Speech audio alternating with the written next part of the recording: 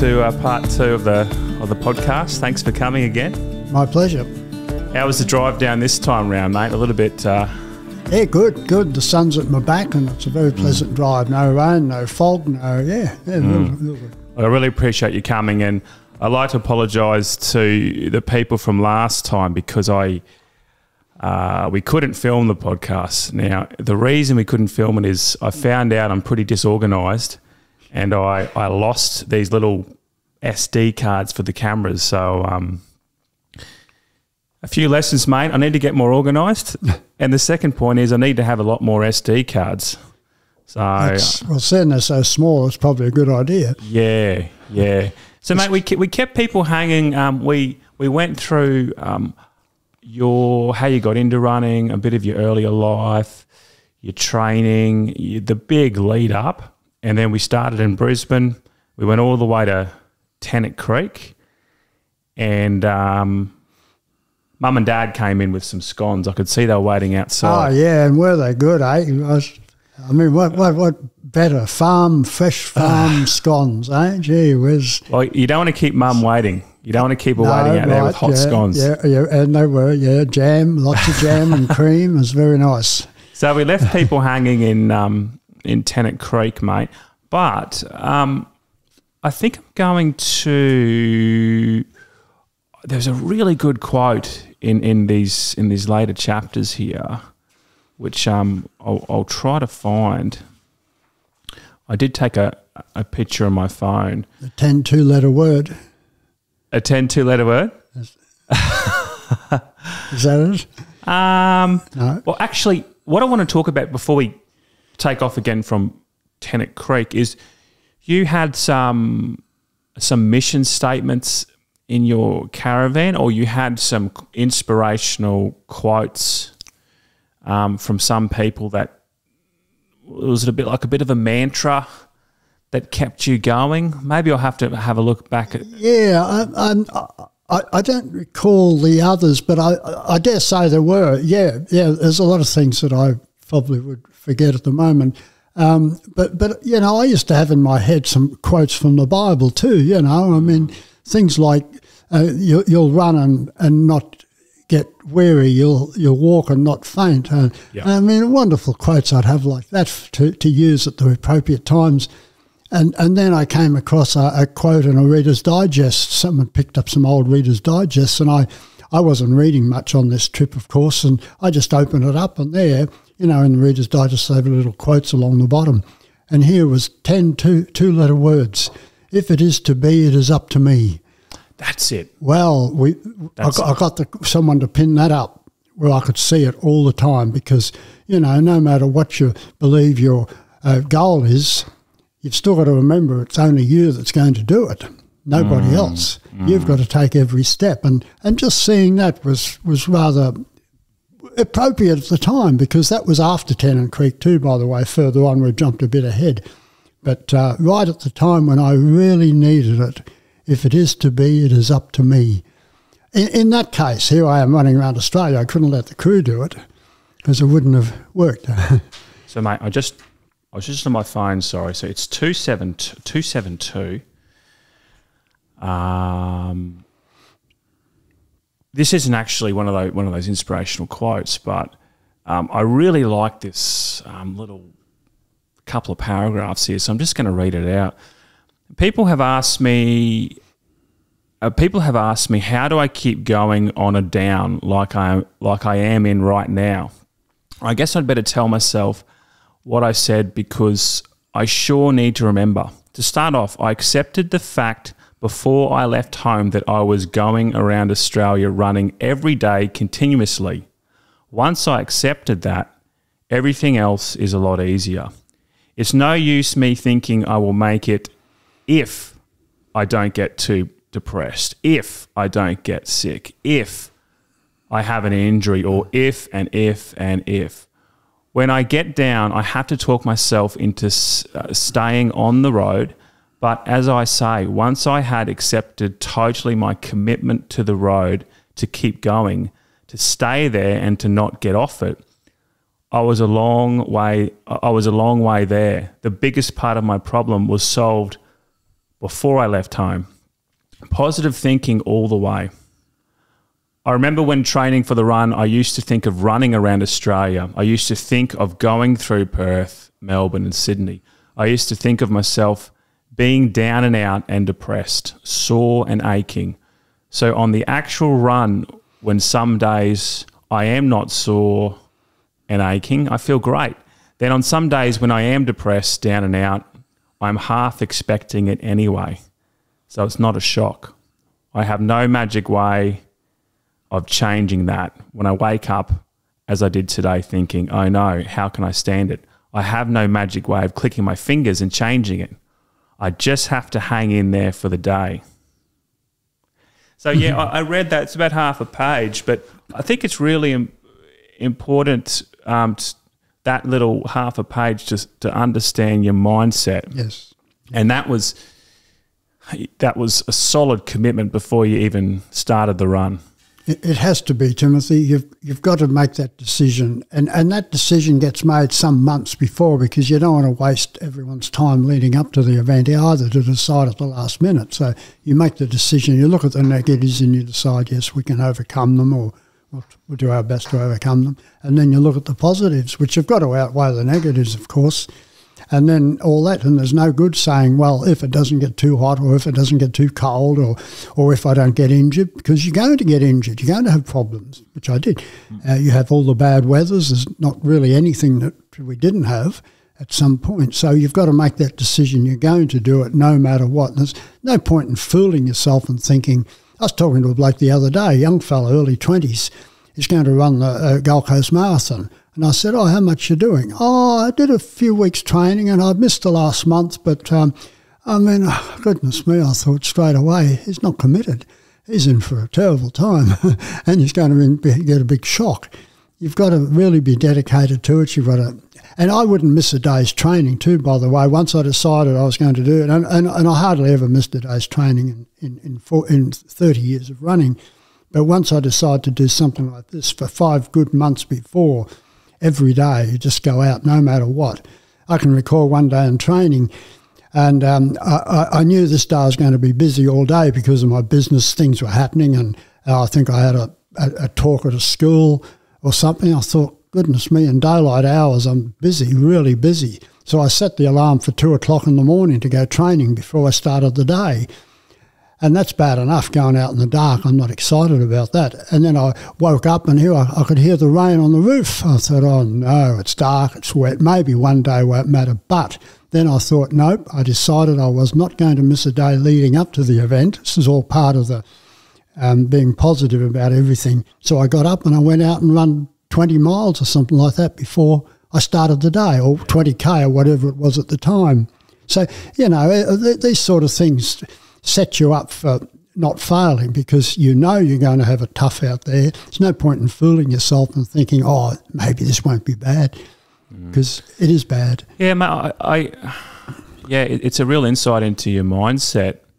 And, um, you know, if you only ran if you only went for a run when you were motivated and you felt like it, well, no one would actually run, would they? You'd hardly train. You'd hardly train, and exactly, it's not just running. I think it's anything in life. If that's it, if you, um, I think if you if you commit to anything, you might as well go for it and and yes. be your best at it. That's right. And you're that's not right. going to get far no. if you say, well, you know, I don't really feel like doing the bread run today. Uh, yeah. You know, I might look. I think yeah. tomorrow. Tomorrow is always. I'll, I'll, do it tomorrow, but yeah. Um, tomorrow's not a day, is it? That's right. That's, it. That's it. It goes on and on. It, you miss one day, it's so easy to miss two. Then, you know, the great Ron Clarke used to say, "Oh, yeah, I could miss one day, and I I, no one might notice, but I missed two days and I'll notice, and I miss three days and my opponents will notice it, and on it goes. It just gets worse. So yep. you don't miss. That was that's from the Ron, Ron Clarke who, who didn't want to run long distance. Well, he well he did five and ten k's and that, but mm. he could have missed a day quite easily here and there, but he just didn't. He just yep. went out and did the work. Yeah. And, and, would you agree, Ron, that it's those days when you don't feel like running that are most important. That's what builds your character and mental strength. Definitely, and I used to love bad. If I was uh, going in an ultra race somewhere or an ordinary race somewhere, and, and the weather was bad and cyclonic, uh, too hot or something, I'd still go out and train, thinking, ah, maybe my opponents are not training today. Maybe they're having the day off, and and so for me, it was psychologically beneficial to be out there doing it in the yeah. bad weather.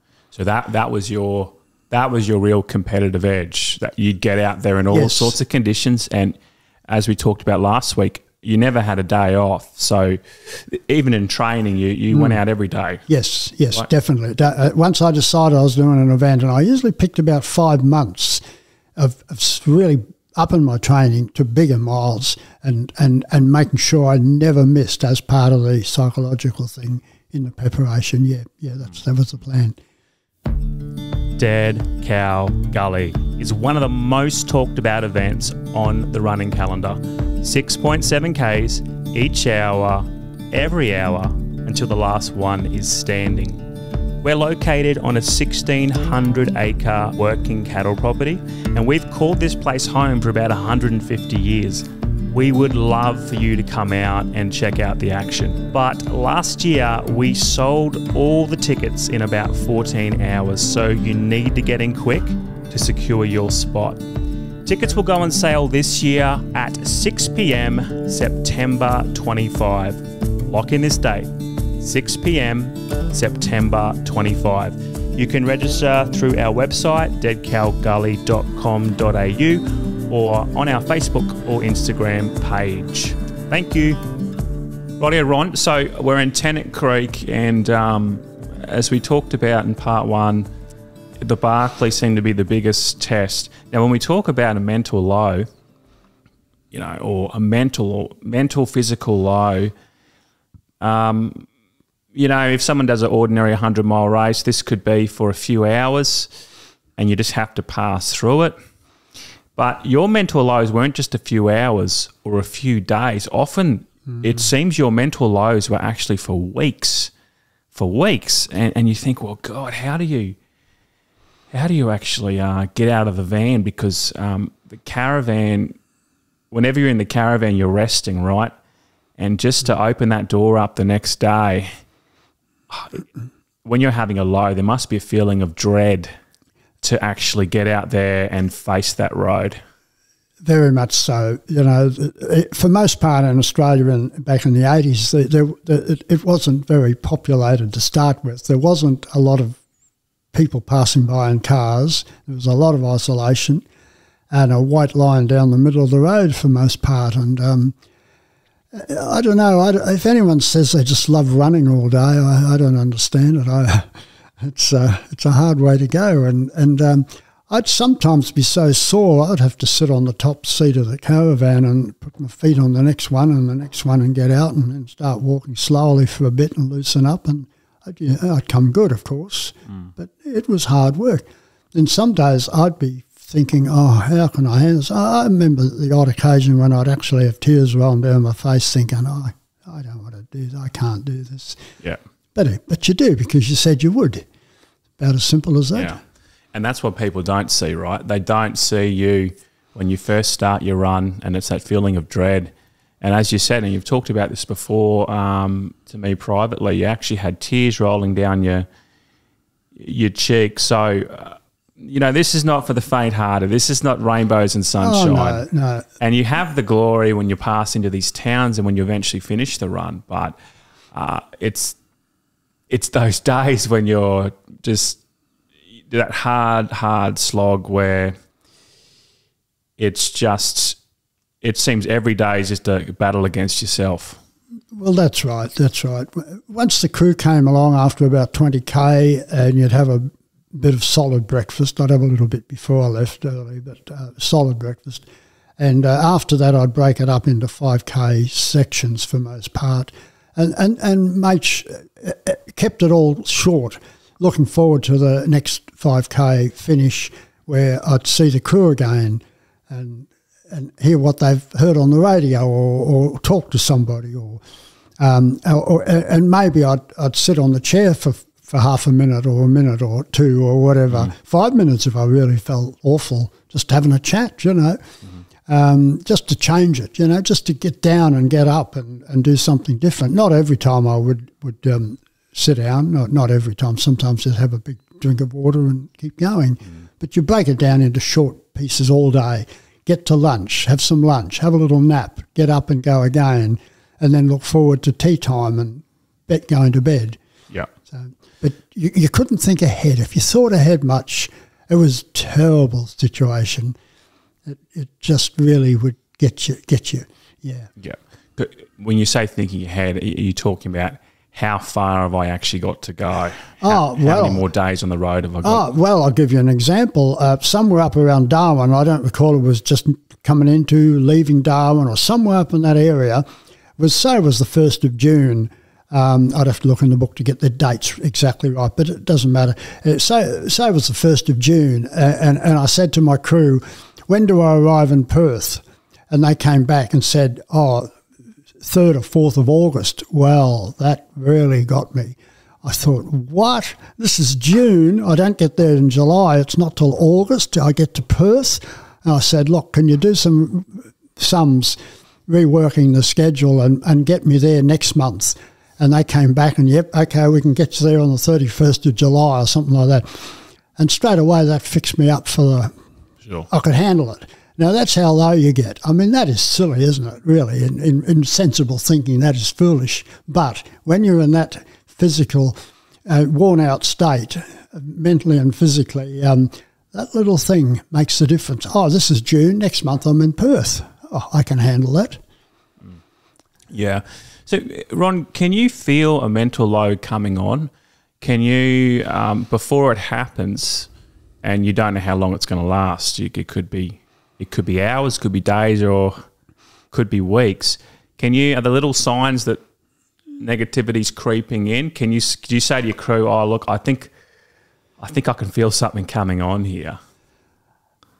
or does it just does it just happen? Do you just slowly slide Uh, into it it? just slowly happens. You know, I, I'm not a depressed sort of person at all or anything like that, but that was just a bit too much, you know. I mean, you just think, oh, I'd like to read a good book or go to see a movie or sit in a milk bar and watch people, something nice and pleasant. So Yeah. you, you come on slowly and you just uh, deal with it for most part, and the crew would know, they'd soon pick up on it. Yeah. And do you, um, while you were in these lows, did you actually talk to the crew about it? Did you vocalize how you were feeling, or were you just mainly having a conversation with yourself? Uh, pretty much mainly myself, I would say, but they'd soon see it. You know, they'd tell. They'd be able to tell.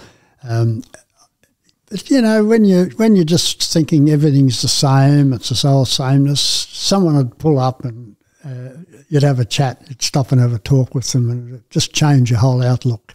Yeah. Just because some people are just that way, you know, just Sure. talking to some people cheer you up. Sure. Yeah. Okay, mate. So you got through the Barkly, and it's this huge uh, relief. Do you think when you hit, sorry, when you hit Tennant Creek in three ways, is that when you came out of this mental low? Oh, that made a big difference because the Barkly was really bad when I went across. It was in drought, uh, flies, unbelievable flies that cover a white shirt, you know, and, and, and, and it was just, uh, you, you couldn't, you, you couldn't even open your mouth to have water without flies. They're up your nose, they're everywhere, and so therefore the fly net. And uh, getting there was was certainly a big difference, and, and there were people waiting there at the three ways, come from Tennant Creek and all.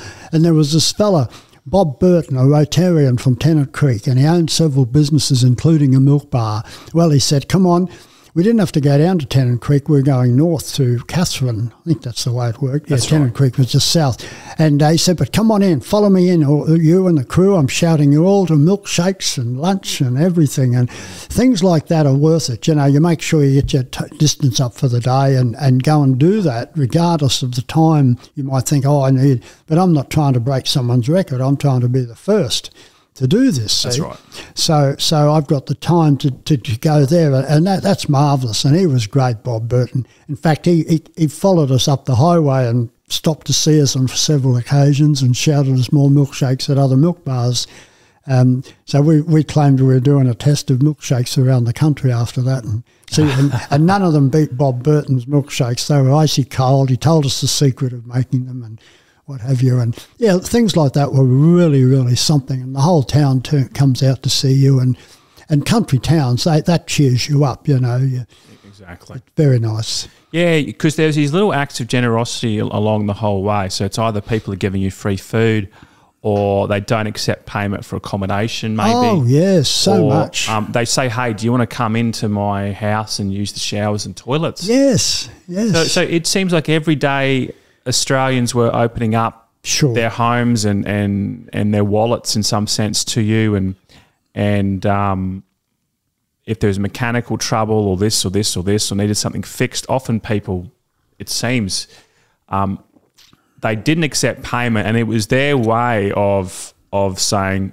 "Good on you, Ron. Keep going." Oh yes. You didn't get the major sponsorship to help you. The big the big financial sponsor, which we talked about before, is just it beggars belief. But it seems like everyday ordinary Australians were trying to lift you up. Yes. Oh, all the way. It was marvellous. Except there's great big gaps where there's where were no people back then, of course, and and and um, yeah, very few people. You know, even even the big uh, the trucks would would toss out the papers to us or stop and give us the papers and and uh, uh, hear that we maybe we needed certain supplies.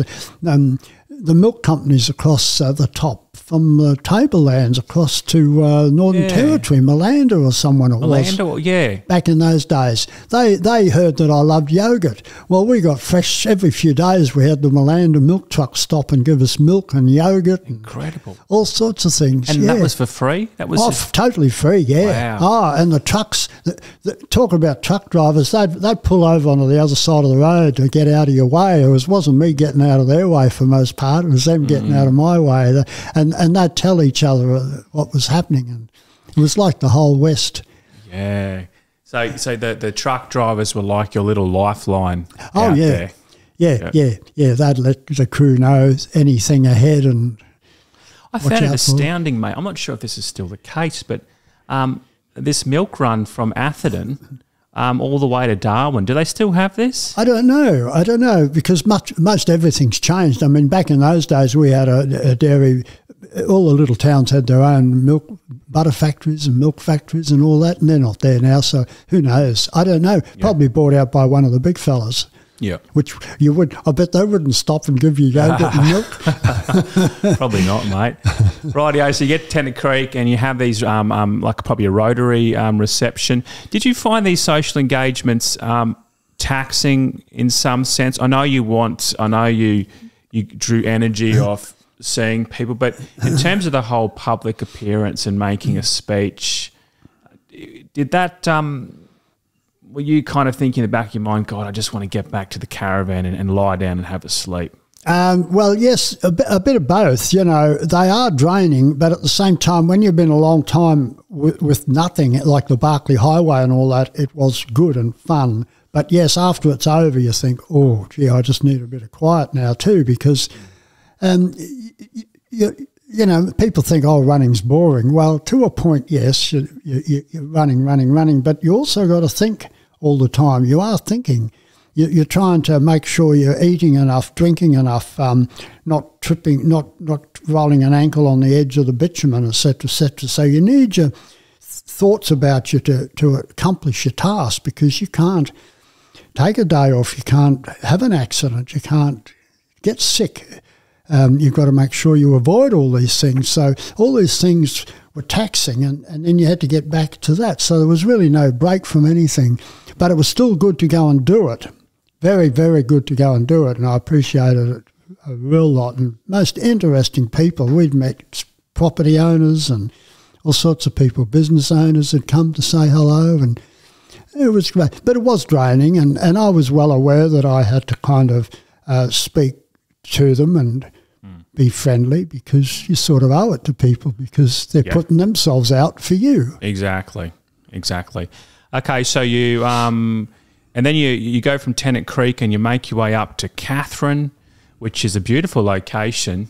You've got the Katherine Gorge up there, which is Yes. quite famous, and it, it, it seems that you did get a boat ride? Was it on the Ah, way back? On or- the way back, I'm pretty sure Okay. it was. We got to Darwin. We wanted to get to Darwin, um, and, and, and yes, on the way back, I'm pretty sure. And and uh, we totally free, the crew and myself and all, got a, a, a free ride up the gorge. Terrific. yeah. Magnificent. It's oh, beautiful. It's oh, stunning, isn't it? fan- Fantastic. yeah. So, did you get a big reception in Darwin? Because that was really your biggest, your biggest um, reception, probably since what Brisbane or Mount Isa. Mount Isa was marvellous. I think I mentioned there that one of the kids running into Mount Isa with me turned out to be later, in many many years later, my daughter-in-law. Yeah, wow. Um, and that was great. Mount Isa was terrific. Um, Darwin was marvellous, really, because it's a pretty big place and you don't expect it. But oh, the streets were lined with school children and there's people everywhere. And the the um, the government up there came heads of the government came out to, to greet me, or, or, or met, met us at the middle of the town or wherever it was, whether it was the post office or Parliament House or somewhere. Yeah, turn, turned out the uh, administrator at the time up there, a fellow named Paul Everingham, became my solicitor in Caboolture soon after that when he retired from being admin, administrator, was like Premier, Yeah. Premier of the Northern Territory, and he's been my solicitor for ever since then.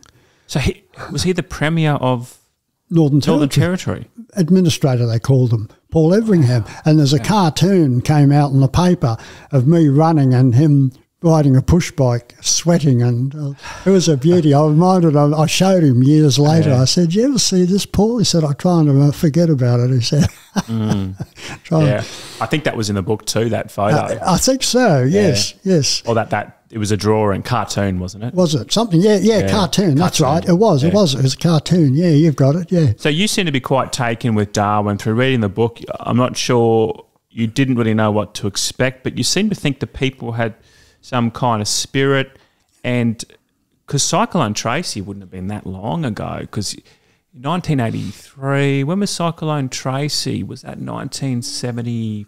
In the 70s, 74, I think it was. 74? Was that around the time Brisbane was flooded as well? I think so. Yeah, yeah, I think so. Was that the same year, the big Brisbane floods and Was it? Cyclone Tracy? Could have been. I, oh, look, it's I'll have to long, look- long time ago. I'll have to look it up, but I reckon it, Cyclone Tracy seventy four sounds sounds familiar. So I guess um, nine years later, you come running in. Did you see any signs of the of?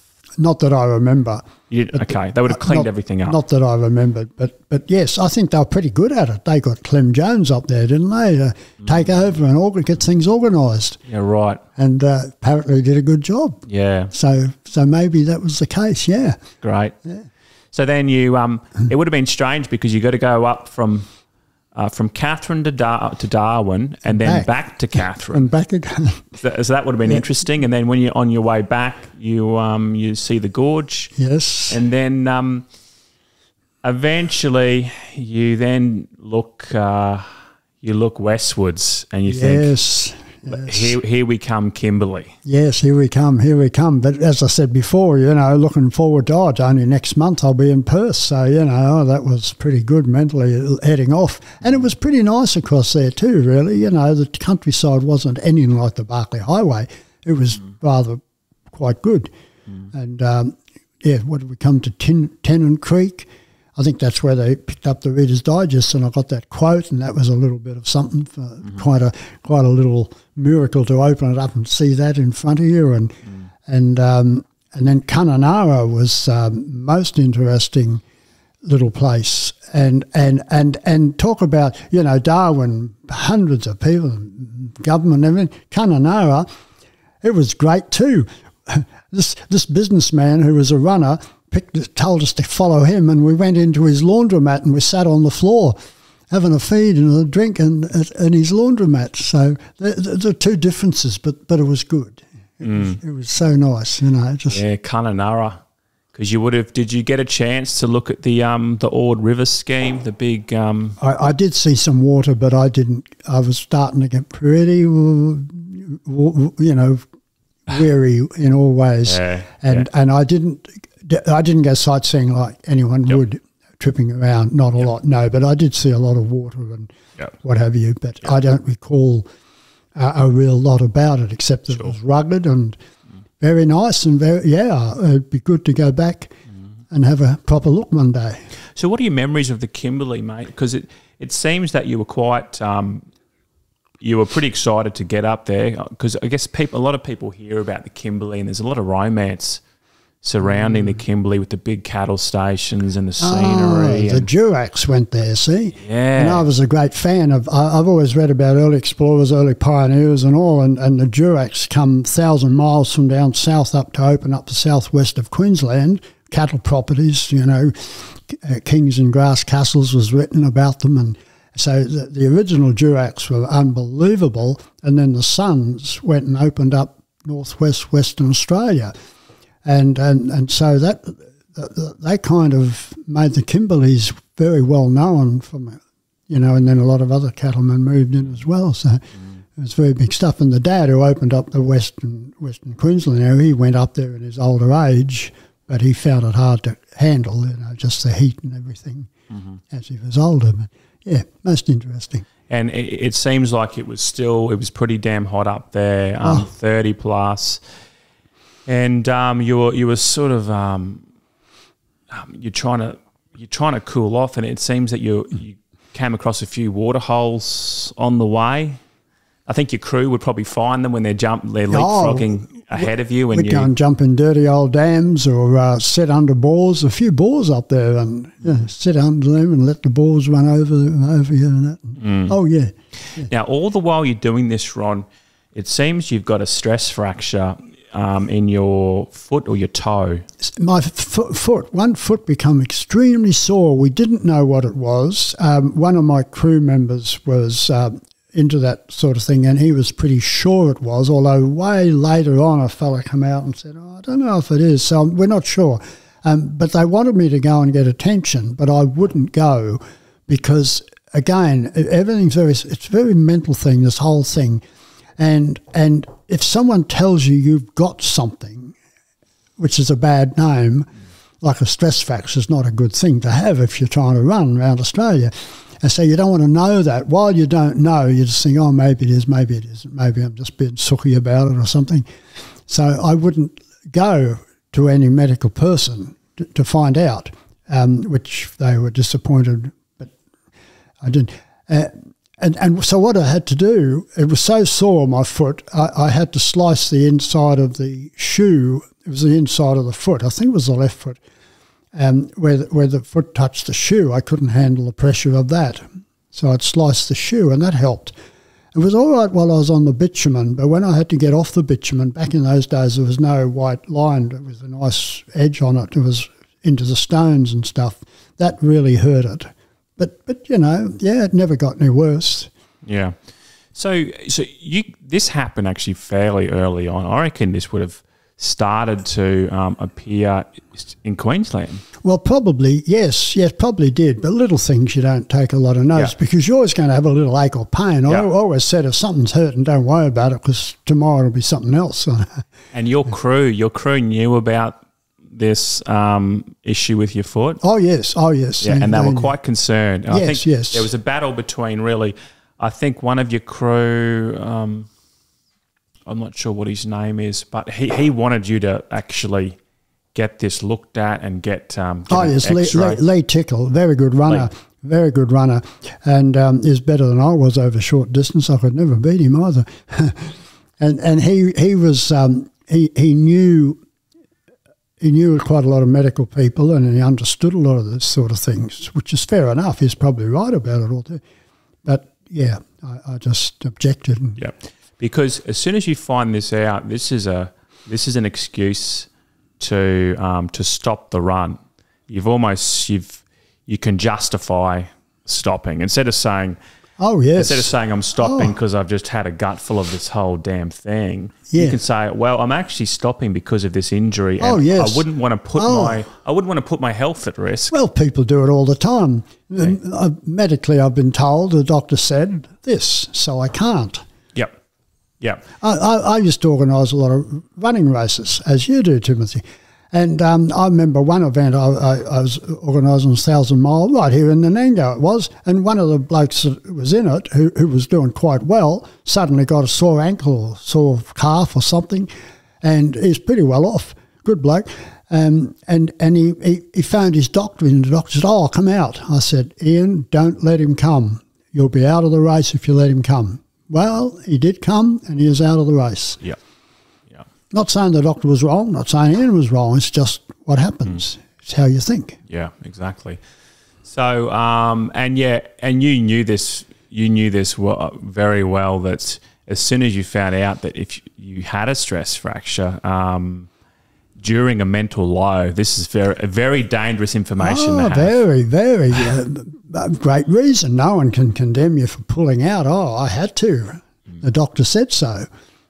Yep. Yep.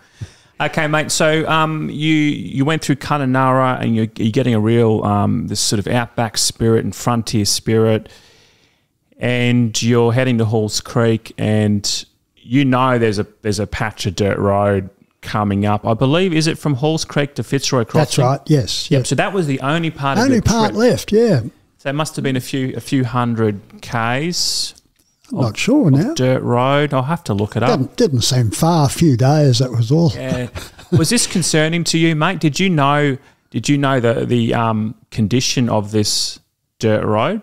I had no idea what it was like, and I don't recall it being too bad. So maybe it wasn't too bad. I, I don't recall it, but uh, I'm, I'm pleased to have encountered some dirt road actually because it's sort of the old days, isn't it? Even though Yeah. it wasn't much, you know. Yeah.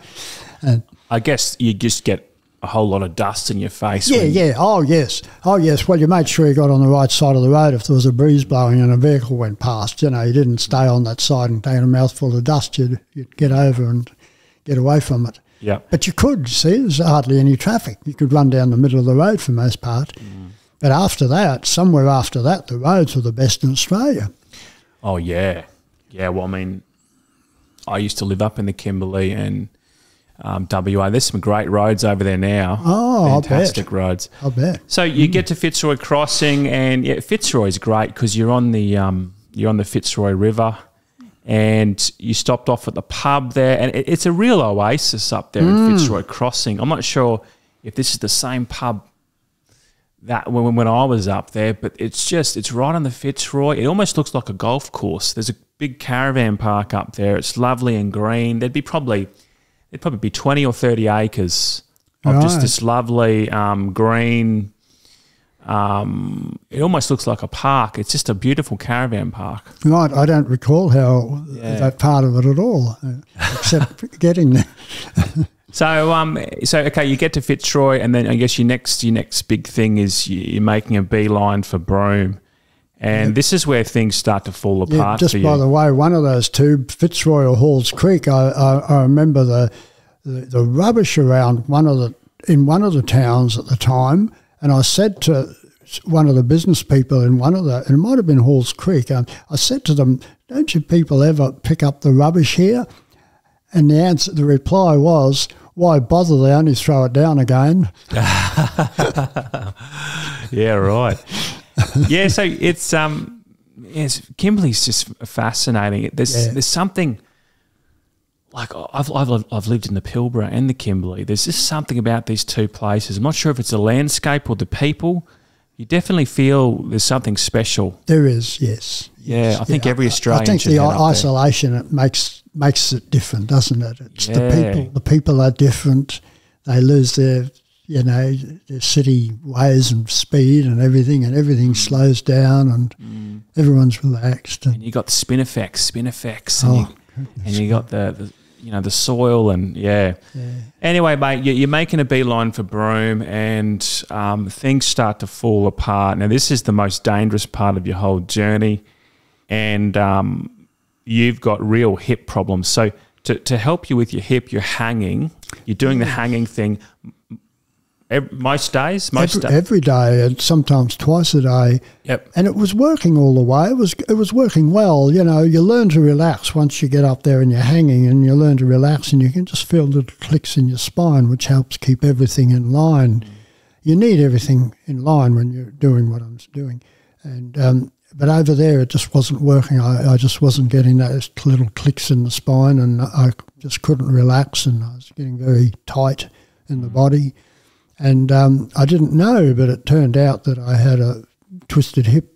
Uh, was it a dislocated hip or a twisted? Oh, I don't recall now. It was yep. out of it was out of line anyway. Yeah, so it, it seems that you know these other this this foot fracture, so the stress fracture you could kind of run through, but this hip really stopped you in your tracks. It was probably the, the, sore foot that caused it. You know, probably running yeah. Uh, and trying to nurse it a bit, and probably caused the hip to yeah. But it seems you were just dragging yourself into Broome, and it, there was a. It seems like things really turned with you and the crew because it, it, was very obvious the way you were running that you were in pain, and there's mm. no way, there's no way you could make the rest of the trip if if you couldn't sort this out. And it seems that um, it seems that you were prepared. like your spirits must have been pretty low coming into Broome, right? Oh well, yes, yeah. When when you get to that point, because I've always had some low back and hip discomfort all my life, seems, and and I, I just knew from experience that when I get like that, I really needed a bit of help to straighten it out. Um, and uh, when you're home, you can go to a chiropractor or a naturopath, someone like that, and they can do that. But out there, you'd think, well, it's not going to be anybody, is yep, there? Yeah. Now, can you tell us this amazing story of how you you met someone who who put you onto a chiropractor and can you just talk us through yeah i'll tell you how i see it. Uh, the book says it's slightly different but then the crew saw things differently and and they may have spoken to this person before i did but it seemed to me that i was the first one to meet this person but perhaps not. Um, but it doesn't matter the end result the, the, the story is still the story. Um, i'm running along the road by myself at this time and this beaten up a little old car comes along, and I'm looking at it, and, and as it got close, and uh, I could see this big lady behind the wheel, and next thing I could see dogs, and and she hops out of this beaten up old car, and five cattle dogs get out. And I thought, oh no, I don't know if I can handle this. You know, someone with five cattle dogs running around everywhere. And and she said, I hear you're in trouble. Well, yeah, I am a bit. I'm hobbling a bit. She said, Come with me. I'm taking you into Broome to a chiropractor. really? Chiropractor in Broome? She said, Yes. And so, anyway, she um, takes us into Broome. And on the way in, I don't know whether I must have gotten in her car or whether she said this before we got in the car. But anyway, um, I said, "How come you got a chiropractor in Broome?" From what I hear, Broome's um, just a little. Today's Broome's nothing like it was in '83. They sure. they still had lean-to tar- with tarps over them, selling the best pearls in the world in Broome in those days. Now they've got flash shops locked up and everything. And um, she said, "Come with me." I said, "Really, a chiropractor in Broome? How come?" Oh, well, he, he left his family business in Perth and he come to Broome. I thought, oh, well, he must have had a blue with his family or something or other, perhaps. Who knows? I don't know. And um, and he, he works at the meatworks. Oh, no, works at the meatworks. Oh, I'm really in trouble now. And so we're heading to a caravan park, and he lives in a caravan as well. So, oh, gee, not a very good chiropractor by the sounds of it. Well, he was incredibly good. And he was up there escaping life and from the city to have a break to get himself back together and uh, just relax, you know. And ah, I walked out of there really good. Uh, the crew out the, outside could hear the noise. He he whacked the two bones at the low back there, and he said your hip was crooked. Yep. I think that's the words he used. Actually, hip was crooked, and um, I've straightened you up. He said you'll be right till you get home now. Gee whiz! So, mate, you must be thinking God, there's this guy who works at the meatworks. He's living in this caravan, um, and you hear he does. He's a bit of a chiropractor. He must have thought this. It sounds a little bit sus. Like you must think, well, is chiro, is is, is, is it just his hobby that he, he yeah. cracks backs? Is it a bit of a? but at that point, mate, you were that desperate. I had no choice what else are you going to do? What else are you going to do? This is it. This is it. And hey, talk about a miracles. I've, I've said I could preach for half an hour on miracles that happened on this run. Unbelievable. That's that's the big one. That was the big one. Was there immediate relief when yeah. he fixed oh, you yeah. up? I, I, I, I got uh, to the turn off to Broome. I didn't run into Broome because it's off the highway. I'm running Highway 1 around Australia, see, so I'm going along on the turn off is to Broome. And I wanted to have a go into Broome too, to have a little look. And um, I, I, I run down the road like a 90 year old. And, and when I came back to the spot to keep going, I was running down the road like a nine year old. I was great, real good. Wow. So that must have there must have been euphoria because not only have you got to Broome, you've um, you've sorted out your hip, and all of a sudden there's a sense of hope. Oh yes, yes, and hanging upside down kept it good after that, and it was it was good. It was marvelous. Yeah, yeah. I remember a fella come along after that um, uh, from Norway or Sweden or somewhere, and and we just got chatting, and he ran with me a bit, and I enjoyed it. I thoroughly enjoyed it. Whereas just prior to that, anyone stopping to talk to me was almost too much to handle. So to speak, you know, just because you're in discomfort and, and, and concerned about how you're going to fix it.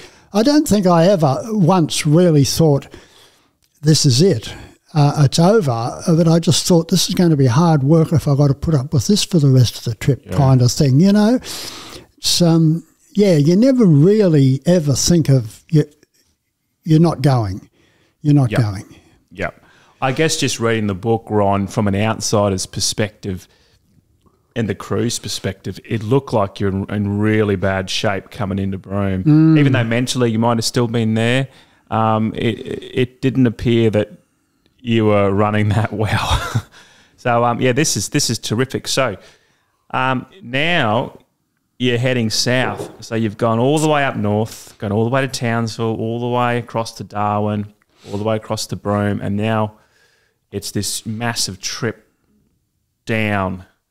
So can you talk us? Can you any memories of um, heading down from Broome? I guess your next step would be probably uh, would be Port Hedland, Port and, and Hedlands. Yes, yes, Port Hedlands. I, I I don't have any memories. I don't think we stayed long at Port Hedlands. It didn't look all that exciting at that time.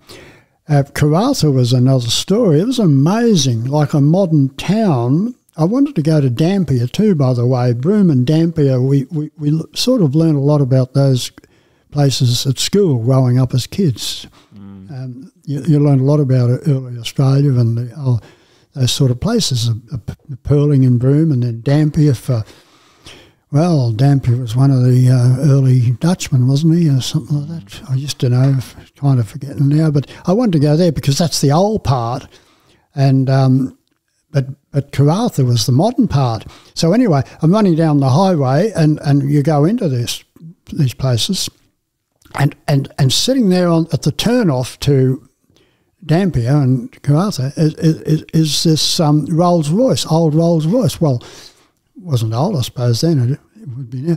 Uh, and and there's a fella there, and I'm coming up, and I think, oh, he's just waiting to say hello. And sitting on the bonnet of his car is a, is a silver tray with silver goblets and champagne. And he's a member of the Hash House Harriers from Oh yeah, Karratha come Yeah. out to pour me some champagne, and then the crew come along, and we all had this. And he said, "Right, let's go into town. We've got uh, everyone's waiting to see you in town, and we're going to have lunch at the resort there or hotel or whatever it was they had in those days. All pretty flash from my memory. Yeah. So it seems like you encountered some real luxury. You weren't expecting it, but you came no. across this luxury. Unbelievable. Now, this guy in the in the flash car was he a, a- businessman? Yeah, yeah, Right. yeah. So he had a bit of money. Yeah, I'd say so. Yeah, Yeah. yeah, Rolls Royce, I'd say so. And Yeah. the silver goblets and trays. Not everybody has that around. yeah. Wow. And uh, uh, you know, it seemed that you're really taken with Karratha and. And there was quite a few strong runners there too. You said that the running club were Oh well, that was the other thing. Yeah, I'd never heard of this in my life before. Something like um, all over Western Western Australia, there were running clubs in all these little towns, very hot little towns in the summer, and even in the, when I was there, and and they would have these wheelbarrow races. And, and, and they'd, they'd cover thousands of kilometres, and hundreds anyway, and sometimes thousands with wheelbarrows Wow. have somebody in it. Um, I used to know exactly how they did it, and, and it became a big thing in the time. You don't hear about it today, even way up at um, Tom Price and places, these running clubs. And and the, the, the these athletes would come from all over the world to work there in Western Australia. Like they weren't just Australians, they were from all parts of Europe and Canada, America. Yeah. And so they'd come from running backgrounds over there and they'd want to do it out in the deserts because most of Western Australia's semi-desert. Um, It's just sand just about meets the sand of the ocean, the desert sand and the sea sand. And they'd cover these huge distances pushing wheelbarrows. And when it first started, they thought, oh, you had to be an ultra runner to do it. So they'd have all these long distance runners doing it. But as time went by, they started thinking, hey, let's get faster men in this because you can have a team of so many people, whatever it was, but we'll change more often. So that rather than have one bloke going for a long time and then change, we'll, we'll do it faster. And they got down to something like a few hundred metre sprints in the end. And, and they'd be having the crew on the side of, of, of a vehicle with a no door or something so they could jump out and take it and he could jump in. It got down to such fine point for winning, it become a big thing. The different mining companies all wanted to be the champion wheelbarrow racer You said whatever. that you said there's some people from New South Wales that they flew over Oh, to yeah. compete. and and vice versa. Western Australians ended up going to New South Wales for some of these events. It was unbelievable stuff, and you wouldn't ever have heard about it back home. You had to be out there to hear about it, but they were excited about it too. It's just your classic sort of Aussie larrikin event. You, you'd think, Ron, you know, only in Australia would you have a wheelbarrow race like this. And, Only in Australia. and, um, Yes. and this must have been just a massive distraction away from the everyday monotony Mm. of your run, just to have this energy and meet other people. And it's, it's quite quirky, this, this race, this other event. Yeah, well, all down the west coast, uh, there'd be groups of runners that come out to see me just because they were part of this wheelbarrow business as well, you know. So they were interested, and they'd travel for a long distance just to say hello and then head back. Now, these firefighters from Melbourne, were they a part of this wheelbarrow race or something separate? No, that was totally separate. That was um, now what was the fire? They were they were runners or were they cyclists? I There thought were- I thought it was running, but it was Running. like almost like a tag, a Yeah, relay, oh yes, it was. It was. It was a, A relay tag. It was. A, it was a relay with several people. but around They- the country, right? Oh yes, yeah, the around the- whole country. Yeah. Oh yes, and and again, well, that's that'd be right. They were they were runners. Yeah, and and and while I was doing the run, we had one come the opposite direction. Hmm. That's yeah, I'd forgotten all about that.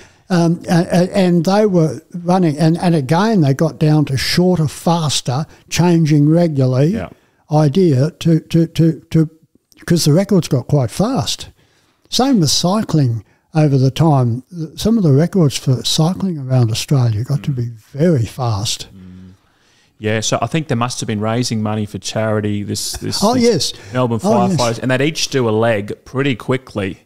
Oh, they And they'd, could they'd tap out, and someone else would come in, and they they ripped around Australia very quickly. very fa- well. In fact, now you mention that one of the blokes in that team um, came out of some distance out of Melbourne and run into Melbourne with me. One of the blokes that was in that team. Gee, that's just come back. I hadn't Yeah. thought about that in a long, long time. He did. Yeah, and they they Yeah. you they organised. Um, yeah, they met up with you in, in Melbourne when you eventually Yes, got there. yes, they did. Before we get there, mate. Yeah, so and, and there was a sense, mate, that when you got into the Pilbara in places like Port Hedland and Karratha, um, you got a sense of this, uh, the mining activity, and you got a sense that this is a pretty big part of the economy. This Oh, yes. mining iron ore, and it's actually it's a huge part of the the global economy and, and the story of China. I know when I was up there uh, working in Newman, um, yeah, you, a lot of Australians don't realise how um, how impressive this Oh, yes. place. Just to see the infrastructure, and you see, uh, you probably wouldn't have got a chance, Ron, but on the horizon of Port Hedland, you can just see lights on the horizon, and there's usually 15, 20, 30 boats just lined up Wow. like in a parking yes, lot. I've heard. Sometimes they're there for weeks, Yes. and they're waiting to come into port. Get the iron ore, and go back to China. Absolutely amazing, isn't it? Yeah. Yeah, So um, Oh. that was great, mate. So Ah. pretty, pretty bore. It's a god. It's a boring trip from in the car anyway. It's a pretty boring trip from. It's worse on foot. It's pretty boring, mate, and um, there's not a whole lot of variation. I know from Broome to Port Hedland. Oh, it's oh yes, yeah. you would have passed through sand Sandfire. You Oh yeah, yeah. Oh well, we had a nice time there too. They welcomed us. Yeah, the, uh, yeah. Roadhouse there. Oh, they, they. I don't think we paid for a thing there.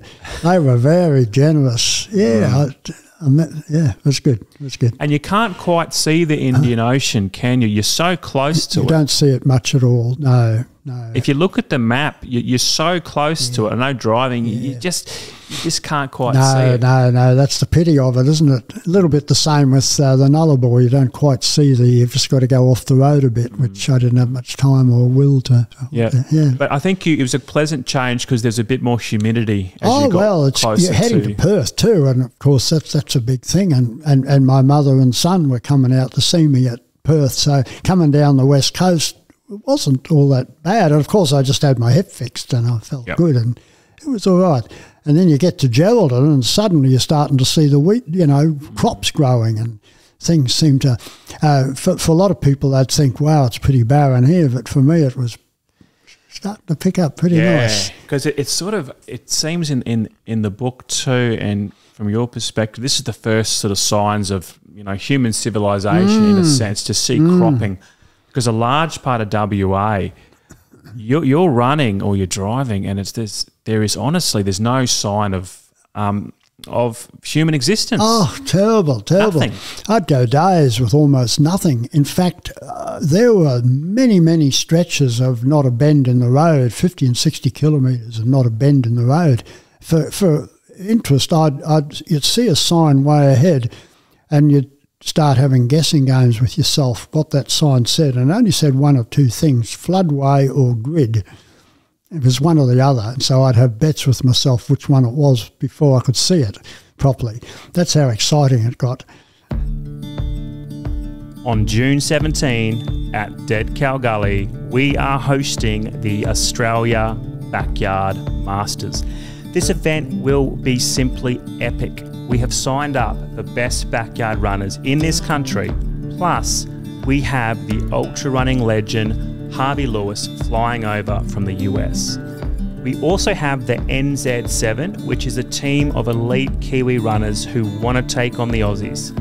This will be a showdown for the ages, but we need your help. Most of the interstate and overseas runners don't have crew or any equipment. They're literally jumping on the plane and turning up to the event. So if you can help us out with some equipment like a marquee or a chair, or if you could volunteer as crew, we would love to hear from you.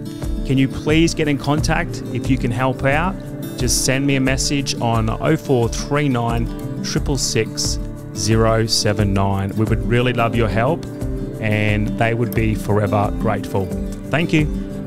Well, Ron, well, um, what we might do, because, yeah, Karratha seemed to be a highlight, and we'll just, we might skip a few towns, mate, and we might um, talk about um, Perth. So you, you, you, make, you make it to Geraldton, you said there's some signs of, uh, signs of human civilization in the sense that you can see some crops. A lot of, that's a big wheat, big wheat area, Yeah, isn't it? yeah, stuff growing and got more homes popping up. Not many, I mean, but you might Yeah. see a couple of homes each day instead of nothing. And and I saw my first sturt desert pea growing on the side of the road. Right. I, I'm not a gardener much, but um, oh, gee, to see a Sturt desert pea, well named after Sturt the explorer. And Yeah. Did you see some wildflowers? Um, not a lot. I don't recall a lot of wildflowers. Um, inland, a little bit from there. I think there's a lot more. yeah. Yeah. Okay. So that that's obviously got to lift your spirits when you sort of feel that you're not you're not alone. You can see cropping. Um, you don't feel as alone and isolated.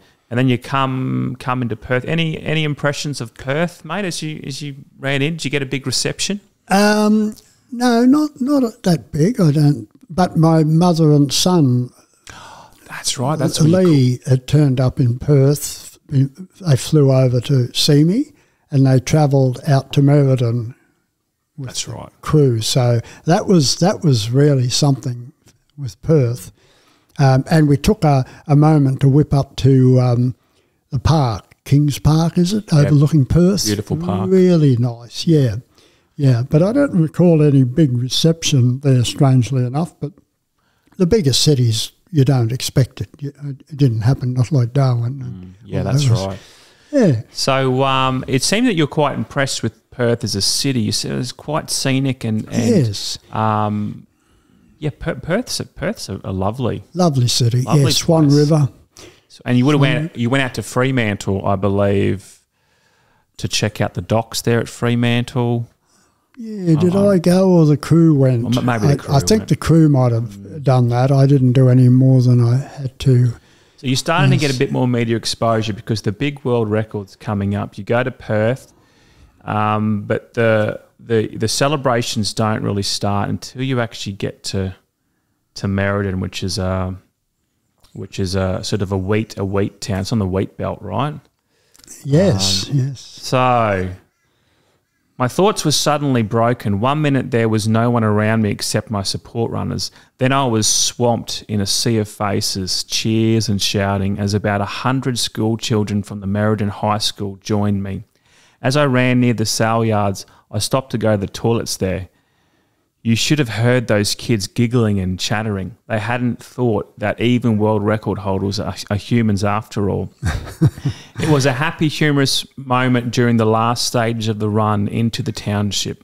I stopped one kilometre from the centre of the town to mark time and let the slow runners catch up. The kids could catch their breath before they made the charge with me to the finish tape, as they surely will. By now, another four schools had joined us. I turned the last corner into the main street and I was so surprised. I had been glad that the record was to be broken in a little country town, so I never expected to see so many people. It was estimated later at about two and a half thousand, uh, two and a half thousand people. Incredible but thrilling. So um, yeah, I'm just I'm just looking at the photos here, and it seemed to be um, just a huge thing for you, and you actually got quite emotional in in Merredin. Oh yes, yeah, yeah. It was a big thing and a big relief, you know, to know that you'd passed the old world long run record. And uh, yeah, whatever happened after that, I had something behind me. You locked this in the bag, and it seemed that you had a real affinity for um, for Merredin itself, and I think you said too that um, for a um, for a baker's son, it was quite, it was quite fitting too because it's a wheat town. Oh, exactly. My father was a baker, and my son is a baker, and and at, he was there. He was there in that town with my mother, and uh, he's still a baker to this day. He was doing his apprenticeship at the time, so it was very fitting. And and um, I own bakeries and bread runs and various things. So yeah, amazing, quite amazing. I mean, it could have been anywhere, couldn't it? But it was there. Yeah, mate. I'll just read a little bit more for for the listeners.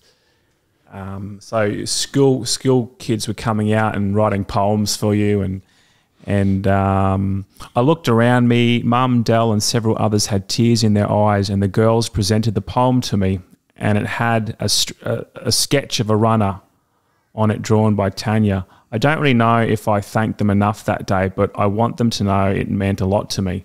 They had followed my run from the start, then thought up of the idea of the poem and carried it out. Their teacher was very proud of their um, initiative and felt it would be a turning point for both girls who were rather shy. So you had all these different ceremonies, and um, you said, I went to bed that night feeling that I ought to pinch myself just to see if the fantastic events of today had really happened. And Ron Grant really was the holder of the new world long run record. Tomorrow, I set my sights on home and hopefully become the first person to run around Australia. So, um, yeah. How, Yeah. how do you feel? Um, s- sort of bring back some memories. Oh, for sure. Yeah, yeah, yeah. Forty years ago. Yeah, it's a long time back that it, it does, and and many things you do forget. You know, you, you- yeah. There's a, they put a little plaque up in the park where where all the celebrations happened. Uh, I often wonder if it's still there. Most things don't survive forty years, but they did. interesting. They actually put a plaque up in the park there. Well, if anyone listening's from Merredin, if you can go check it out and, and tell us if it's still there. What, what's the name of the park? Do you know? or- No, I don't know, but Yeah, it's not a right. very big town, and I'd say there's one. It was right in the middle of the town, so So seeing your your son, your son met you in, in Merredin or Perth. Perth. Um, Mum and Lee came out to Perth, and Lee joined the crew all the way to Merredin, and then Mum came and went each day from Perth. Yeah, Yeah, wow. So that must have been a huge psychological yes. boost, right? it was good. It was real nice. Yes, and then my daughter Debbie came out to Adelaide for a short visit too, so that was good. Yeah, wow. So, I mean, so many things could have gone wrong, um, Ron. So, I mean, just the fact that you didn't get injured, uh, every step, it seems that you were cautious the whole way and it, it, it paid dividends. Yes, yes, yes. And that's a big strain, you know. I mean, most of us get up and we go and do this and do that, and you don't think too much of it. Your footing and all that. Of course, you know what's silly about it, but, but you don't think. But, but on that, just the whole time cautious of rolling an ankle, the edge of the bitumen, stepping out of your van and not thinking and overstepping or falling down or who knows, you know. Yeah, yeah, Yeah. yeah. So you got the new world record for the longest ever continuous run, and I might say that um, this was very challenging because a, lo- a lot of that run was thirty plus, thirty plus degrees, probably. We had roughly 100 days from Rockhampton around to um, Port Hedland, Broome, somewhere around there, roughly 100 days of 30 plus every day. Yeah, so we're not we're not talking about um, you know r- running running on a on a 22, 23 degree day.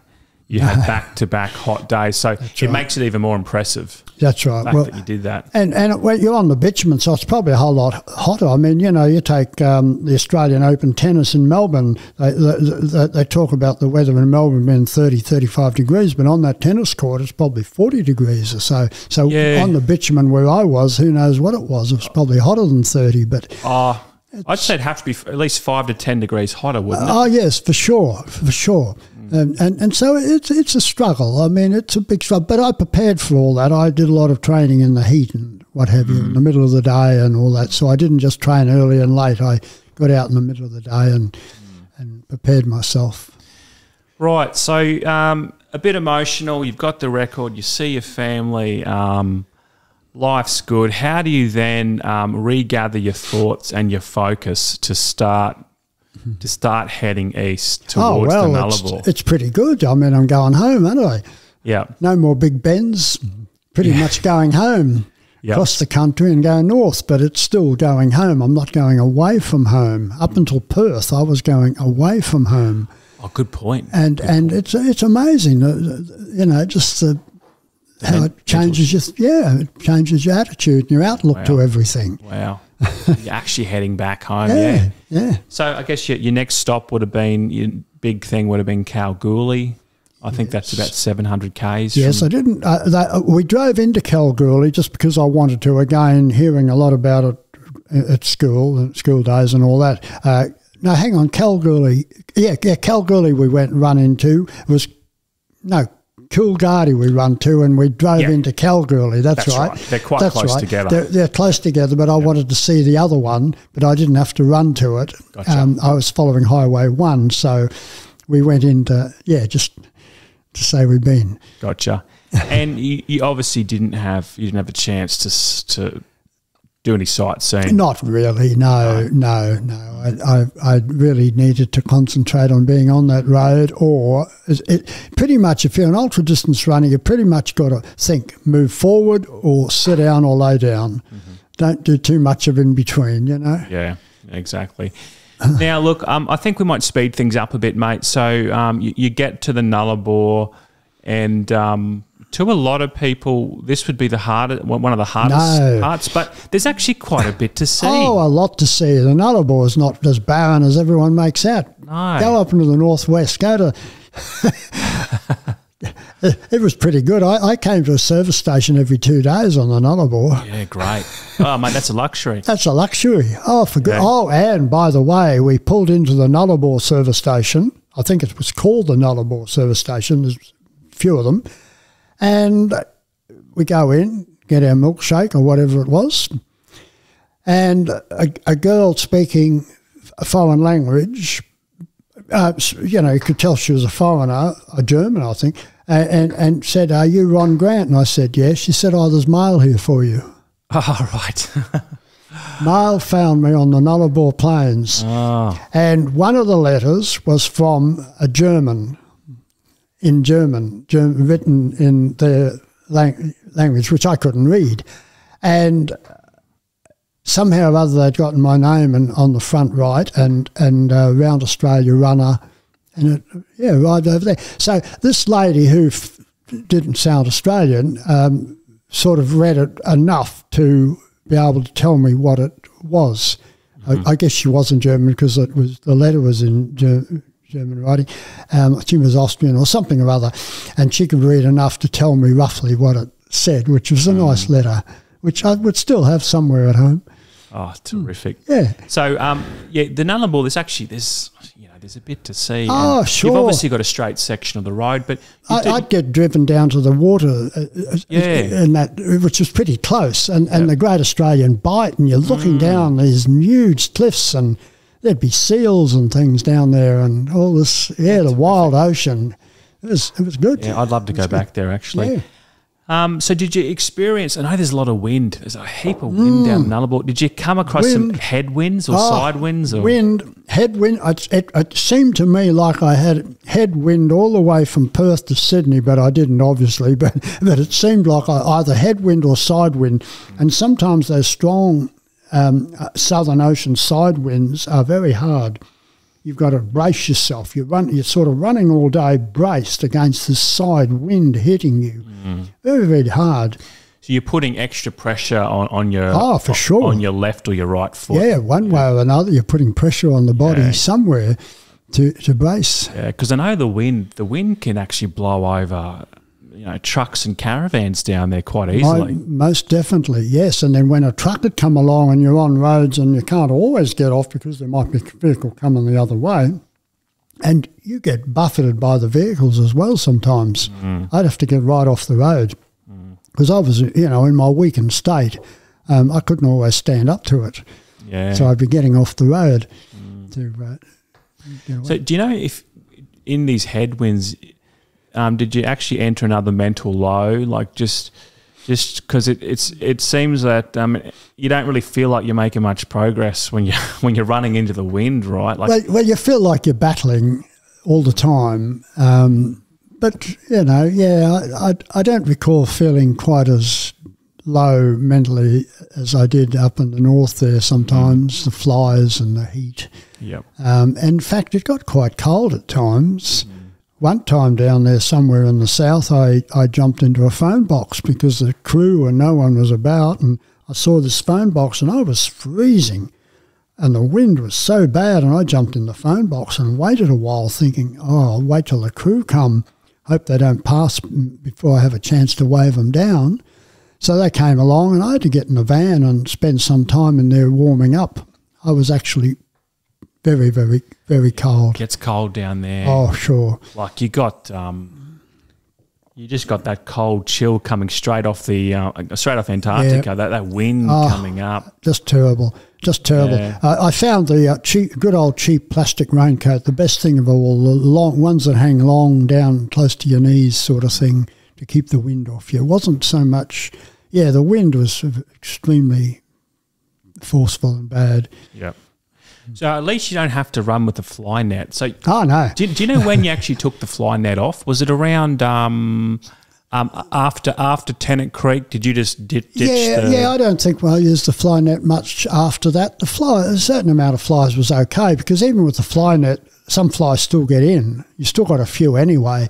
And uh, no, I think pretty much after the three ways, I did away with the fly net because Yep. they're pretty uncomfortable. They, Yep. they hold the heat too. Yep. Yep. Did you, because you weren't running with a hat, um, did you ever get, you must have got sunburned? Yeah, I got sunburned. I, I should have worn more clothing most of the time, but I didn't. I didn't like covering too much. Um, but I did put a long sleeve shirt on a certain amount and put a hat, but I, I yeah, not enough. I, I got quite burnt. I got plenty of skin cancers. Yeah. but you had a big mop of hair, didn't you? Oh yeah, yeah. I always, I've always worn my hair bit on the long side. So your, neck, your, your hair was kind of covering your neck. oh yeah, yeah. yeah, The only in my neck and, and ears, the only place I don't have skin cancers. Yeah. Hey, and um, you weren't running with sungla- sunglasses? Never wore them. Never wear them. Really? Never wear them. Not in the desert, Simpson Desert, anywhere. Oh. Never, never worn sunglasses. Why, why is that? I there just- any I just- reason I just that? don't like things on me. I just, Oh, really? uh, you know, us runners back in the day, uh, if we could get away with a pair of shorts and nothing else, that's what we did. Yeah. Didn't wear, carry, do anything else. Hats, sunglasses, none of it. Did you ever experiment with running with sunglasses? And No, you, you never said you tried it No. once and said I just don't like it, or you? don't, I don't remember ever trying them. yeah, wow. Maybe I did, but if I did, I don't know. I, I, I- I never felt the need. I never, never have. and and I don't have prescription glasses to read or anything. Oh, wow. Yeah, Well, very, very. I just have uh, the cheapies around sometimes if it's a bit dark and I might want it. But I could read that book you've got there now. This is light enough, but if it's a bit darker, I might need the cheapies. You know, the magnifying glass type thing Yeah. for some things. But no, so so going without sunglasses hasn't affected my eyes. Mate, terrific. Very, very minimalist. Uh, Right. Well, well, yes, yeah, that's right. Right. Yeah, yeah, Yeah. yeah. Very easy to cater for, mate. um, okay, let's let's speed it up a bit. You get across to Nullarbor, you go into Sydney. It seems that you. Yeah, Adelaide Oh, oh, first. sorry, sorry. Got to go to. Adelaide. Sorry, Adelaide. It seems you didn't really get much of a reception, and it, it it reads it reads like Adelaide didn't really know you were coming no, coming no, in. they didn't. They weren't very And interested. No, You're sort of running in, you're looking around, and it's like no one's really lining the streets, and then you have this Mm. small reception in um, in in the centre of the city. But it, it seems that um, word really hadn't gotten to Adelaide about No, you. no, no. There you go. It's just a matter of somebody. There was no Sally Alston like up in Broome coming out in Mm. a little old beaten up car with five dogs or anything like that. Nothing. Yeah, No. It's, oh well, well before Adelaide, Margaret Carline, who wrote that book you're looking at, uh, turned up. Well, Margaret Carline was a lady in her sixties or sixty or thereabouts, and was she a live wire? My goodness. She uh, she would brighten up my days when she turned up. She turned up and said, "I'd like to write a book about your run around Australia." Oh, really? So that and that was somewhere close to Adelaide, and uh, okay. She- do you- So you had no idea who this woman no, was? no. Well, I'd been warned by by John Thompson, who had, was helping out with things, um, that that she wanted to do a book and that she was coming to meet me, and so she turned up and. Uh, she was great. Uh, in fact, we kept in touch all the years since that until she passed away. Yeah, wow. Came to Anne and I my wedding, and uh, years later, and, and, and we visited her, and uh, yeah, we we were, we stayed good friends ever since. But but she was a live wire of a lady, and I'm forty, and she's in her sixties, and I'm thinking. To me, she was an old lady, you know, but she wasn't. Obviously, she she she she talked a lot, and I thought, how is she listening to anything I say? She's talking so much. Well, she didn't miss a thing I said. She remembered everything, and she never took notes in front of me. And she, I never saw any tapes or anything. And so she, yep, she just had a switched on mind that absorbed so much. Obviously, as soon as she left me, she probably jotted down all she needed. But So did you know she was going to meet you to discuss um, a, future book? I'd only just heard recent, just prior to that, and it all happened quite fast, you know. Yep. And did she want to hang out with you to get a feel of, of what it was like? A bit, yes, she did. She she came and went a little bit, um, not for too long. She came and went, and then she went back to uh, her home in Brisbane, and, and she went around interviewing a lot of my friends and family after that, and, and got a feel for me and growing up and Mm. Yep. running. And because your book your book does read like a diary entry. That's right. And that Day was, by day that was by her day. input. That Yeah, so she obviously got some notes from the crew. oh, the diary. Yeah, the crew. Well, Sandra kept a lot of notes too Yep. on that uh, trip. Um, Yep. She kept a lot of notes, and she got from that, and then she talked with me and Yep. and um, the crew all over, and then Great, people back home. great.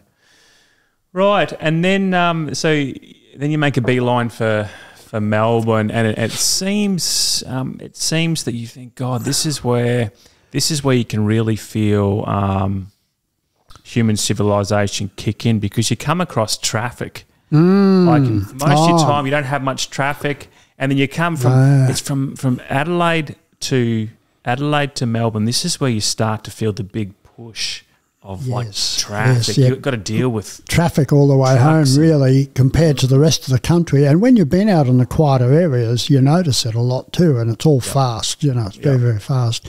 So we, we, yeah, there was lots of it. So you'd be used to running in the middle of the road, Yeah. Oh yes, yes. but now you've got to now. Stay well over.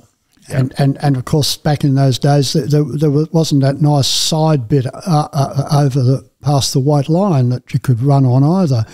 F- Um, maybe occasionally, but for most part there wasn't. So you're running in the stone to get away from Yeah. the traffic. So it was pretty hard. It was great going out of uh, Adelaide over the Adelaide Hills and Hun, you know, Hun, what's, the, what's that Hahndorf? No, the German settlement Oh there yeah, yeah, yeah. And- beautiful. Lovely. It was really, really nice getting out of Adelaide and the hills and everything.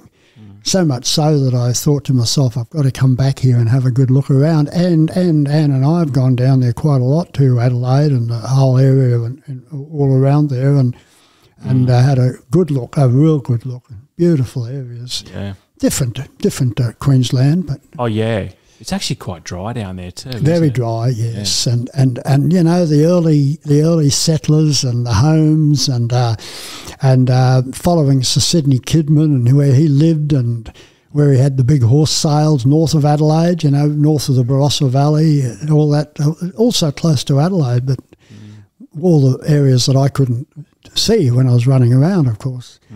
Uh, that was good. That was good. So the side of the right, you, do you call it? Is it a camber? Cam- Camber, the, cam- Ca- the camber. all roads have camber. They slope slightly so there's no Yeah. water settling, and so you're on this slope all the time. And in the quieter areas, you can change sides or run in the middle to get away from the slope, which helps you.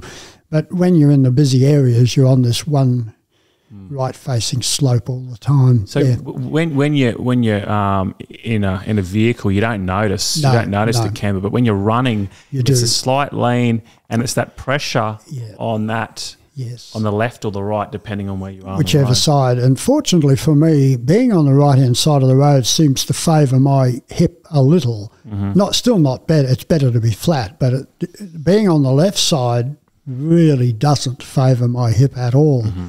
So uh, being on the right was that was a bit of an advantage. So if the if the camber's too steep, that becomes a problem. Oh, real, real problem. Yes, yes. And and then you get off that onto the side, which is flat, but of course it's rough grass or stone or whatever. So you think you're running cross country a certain amount. Right, mate. You get into Melbourne, pretty good reception. You got the firefighters, a lot of media interest. You're now you're now officially, I guess, you're on the east coast. Oh, just got to run up the east coast to home. It's you just got to head north. nearly there. You- Can you remember what your feelings were like coming into Melbourne? Oh, I was feeling pretty good because you know it was it, it was a very um, pretty state, Victoria, and, and and the other good thing about Victoria, it's so small. It only took two weeks to run through as well, so that was that was rather pleasant as against Queensland, Western Australia. And very big states you're there for a long, long time. So Victoria was good, even with the traffic. It was really pleasant. Um, the people were nice too. You know, we encountered a lot of very pleasant people coming out to say something they, they heard on the grapevine, even if the big media didn't take a lot of notice at that point. And I got a phone call um, from Tony Rafferty, Great. um, which was very nice. Yeah, Yeah. yeah, that was good.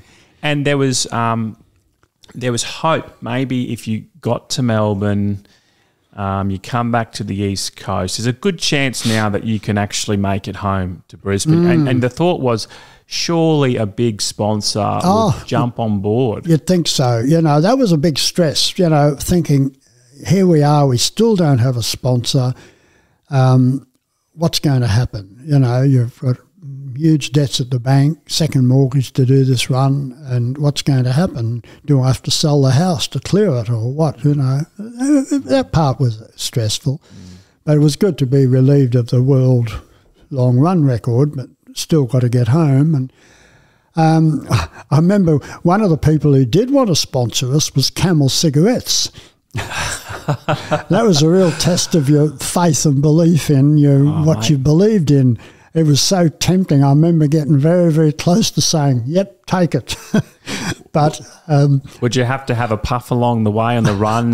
Just uh, I've never even had a cigarette lit in my mouth. Yeah, not wow. even not even tried one. So, um, but my father smoked, and he always said, "Don't smoke," um, and I never did. Um, but that was a little bit tempting, I have to admit. That was a real test of my faith and my beliefs and so forth. And I nearly, uh, um, I must have come pretty close to saying, because you know it would have made a, been a big relief to have had that financial burden lifted. I remember Lee Tickle saying to me, "Ron, don't uh, don't give in. You've got your beliefs. You you know what you're about." That's that's very cheeky, isn't it? Imagine a cigarette company sponsoring Camel- a runner. Camel was a bit fitting, actually. You know, being out in the desert as we were. That's kind of funny. That's very cheeky from Camel's behalf. Yes, You're using your lungs every day. and, exactly. um, that's right. That's right. Exactly right. You know, um, and and Cadbury's chocolate. Now I love Cadbury's chocolate, but I almost refused to eat it because they wouldn't sponsor me before we left. Our Dead Cow Gully documentary has amassed 100,000 views. That is absolutely crazy. But look, it's not surprising in a sense because it's a beautiful doco which captures the spirit of the gully and inspires people to go out for a run and push their limits. While we love putting out that content, it does cost us some money. We think it's worth the expense, but you can actually help us out. All you have to do is subscribe to our YouTube channel. It's just one click and it's free, so there is no cost. If we can get more subscribers to our channel, we can monetize and get paid through YouTube advertisements. This will help us pay for future podcasts and documentaries. So please hit that subscribe button. Thank you so much. So it seemed like th- this was something that was really playing on your mind because um, the, the, the bills the bills are racking up because Oh, you've got to pay for food for everyone in the crew. So it's yourself and what five, six, four four crew, four myself. crew, yeah, kids, Yeah. couple of kids. Yeah. You're paying for fuel. They'd gone home by this time, so they Right. weren't there. But still, yes, it was a big expense, extremely big expense. Yes. So, and, and the fuel is not just um, a smooth trip going all the way around. You're often going back and forth, back and forth Oh, yes. into town. So, Sure.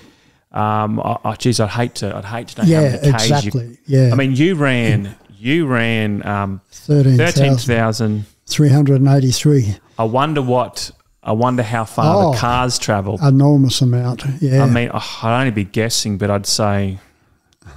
You know, you could at least add another four or five thousand oh, k's on oh, top. right? definitely. Yeah. Probably most- more. more. Mo- Might say a lot more. Yeah. Yeah. Um, and and you, you're just a little bit confused why corporate Australia is not jumping on board and and um, Well, bear in mind, back in those days, most sports people didn't get paid. Like Wally Lewis wouldn't have got paid very well for playing rugby league, and he was the king, wasn't he? I mean, you know, so so it was kind of not surprising, really. Mm-hmm. And I wasn't too upset about not making money out of it, but it would have been mm-hmm. nice to have been covered for the mm-hmm. costs. yeah, That would have been really nice. yeah. Do you mind? Do you mind disclosing roughly how much you think it cost you for that? Um, we did. A, I, I don't want to know exactly, but but we did. Someone and myself did do a rough estimate at one stage, and we come up with a figure of about ninety thousand. Whether that could be right Yeah. or wrong, Wow. I, I don't know. At the time, and bear in mind that's forty years ago. It's a lot of money. Yeah, or ninety thousand in nineteen eighty three. That's equivalent. That's a that's a. I haven't got the inflation calculator in front of me. But that's a few hundred thousand dollars. Oh yes, yeah, it's a lot. It's a, a it's lot. a it's a lot of money. You've got to bear in mind the vehicles as well, and yeah, everything's wearing out. And Mate, um, it's um, it is astounding, but in a sense, since no one thought it was possible, from a from a company's perspective, if they sponsored you from Brisbane and um, you died, you died on the trip. That's not a that's not a great public relations exercise for the company. oh well, we were told we were told directly by a big company that no, we're not going to sponsor you because it can't be done. As simple as that. Um, and and you can't blame them because at the time it was front page Courier Mail, it was TV at night, medical profession saying it can't be done. Well, you're supposed to believe the medical profession, aren't you? You know, and and I so I'm not blaming them, but for me that was um, made me more determined. But for them, it Yeah, they didn't know that I was determined. fired you up. You, yeah, you wanted yeah, to fired pro- me up. prove them wrong. Yeah, yeah, exactly. So, so the, the one element is is it can't be done. So if you if you died in the pursuit of it, it's going to ref, reflect badly on the company. But Sure. two, if you get injured, if you pull out and don't make it again, it reflects poorly. It badly. Yes, Badly. exactly. But Yes. you're on the home stretch now. If you were, I think it would have been a smart move if a company jumped on board and said, um, yes, you would. God, we could we could ride this tailwind home." Yeah. and um, we doubted Ron the whole way, but we could just ride, we could ride on his coattails and actually pick up a lot of publicity here. You would have thought so, but they didn't. Yeah. They, they just didn't. So I, I thought, oh, well, that's life. That's it. Bugger them, bugger them. yes. okay, you leave Melbourne, and it seems like you got a few problems here. Um, you've got more hills because you're on the Great Dividing Range. So you don't really have a whole lot of hills most of the trip, but now you have Hmm, Now you've got hills, yeah. I don't mind hills. Uh, I, I'm not a great fan of running down steep hills, but uh, uphill, uh, did a lot of training on Mount Mee out of Caboolture. Uh, and so hills didn't really trouble me a lot. I suppose sometimes you'd look up and go, oh, no, not another big hill, but didn't really trouble me like some people hate hills, but I kind of like them to a degree. Yeah. But if you're um, if you're a few months into the run, Yeah, yeah. Oh, would a- you still like hills? No, no, no, no. I think I, I, I remember uh, helping uh, Yanis Kouros winning. When, I was I was part of a group running into Melbourne when Yanis Kouros was winning in Sydney, Melbourne one year after the Route Australia run, and there's a bunch of us around him because he's running in almost finished, and and there's a the Greek community wanted to rush him and push him and touch him and, and the great Yanis Kouros, why not? And um, we're running, and, and one of the blokes says, to Yanis Kouros, oh, there's a hill up there. I'll race you up the hill. And Yanis Kouros looks at him. Here he is. He just come from Sydney, nearly in Melbourne, finishing. S- uh, And, and he said, you want to race me, do you? And Yanis Kouros took off up the hill. He loved hills too. You're kidding. This is during the Um, run. uh, this is the finish after s- f- it took him five days, five or six days to run from Mel- Sydney to Melbourne, and he took off. He's a character. He's a great bloke, Oh, yeah. and he just challenged. He didn't go too far, of course, but we had to race after him. he, he was a he was a once in a Oh, hundred year athlete. Unbelievable, Right. unbelievable. yeah, So um yeah, you've you've got some hills to encounter, mate. You still don't have a sponsorship, and then you you also have some really bad headwinds, oh. which which Yeah. really um upset you. Well, I, well, I thought once I got to Melbourne, it'd be a tailwind all the way home because it felt like I had a side wind uh, all all across the bottom, and it seemed to have headwinds. So, uh, I guess they weren't. You know, when you're in that state, you think things are worse than they are sometimes, don't you? But anyway, we got over it. You get to Sydney, have a big reception there, and um and yeah, this is this is the home stretch now. So it's from Sydney to Brisbane, and you think you could probably get excited about this, but in the book it reads that you actually encounter a low that's almost as worse as anything you've experienced um, just out of Sydney. You just you're just not feeling you're not feeling good. Um, you're so close to home, but you've still got to run. But it's a thousand kilometres, and, and I'd already I, I had already run from Sydney to Brisbane some years back, um, just to to say I did it. uh, and it's a, a thousand kilometres is still a long way. Oh, so uh, absolutely. you, you sort of think in your mind as you're approaching Sydney, oh, it's going to be good after this, but suddenly you're on the road every day, stepping it out, and it's the same old, same old. Yeah. So yeah, you get a bit down, but that's if it. you if you look at the map, you're so close. Oh yes, but you've still got a job to do every day. Uh, exactly, and the traffic was heavy. Shocking. Yeah. yeah. And it seems that from this stretch from Sydney to Brisbane, this is where you really start to feel uh, the love and the warmth out there because you're getting lots of toots on the road, Mm. people honking at you, Yes. and you're you're really coming home now because you're getting close to the border. I think you, your mood doesn't really shift until you probably hit. Um, um, maybe maybe it was sort of around Coffs Harbour, maybe, maybe a bit before then. Your mood starts to really shift, and it is really a a bit of a homecoming from there, and you feel like you're home because it's a bit more tropical. Oh yes, yes, You start to see some fruit stalls on the road. Yes, that's right. It's very, very much home. Uh, and also, we had a visit from a uh, Courier Mail journalist, John Hamilton, I believe his name was. Pretty sure I'm right there, John Hamilton. He was a very, very well known journalist back in the 80s. And he just drove down. He said, "I've just come to. I've just heard about this, about you, and so forth, and I've just come to see what it's all about." And um, he sat there at a lunch break or whatever it was with me for some time, and and and he left.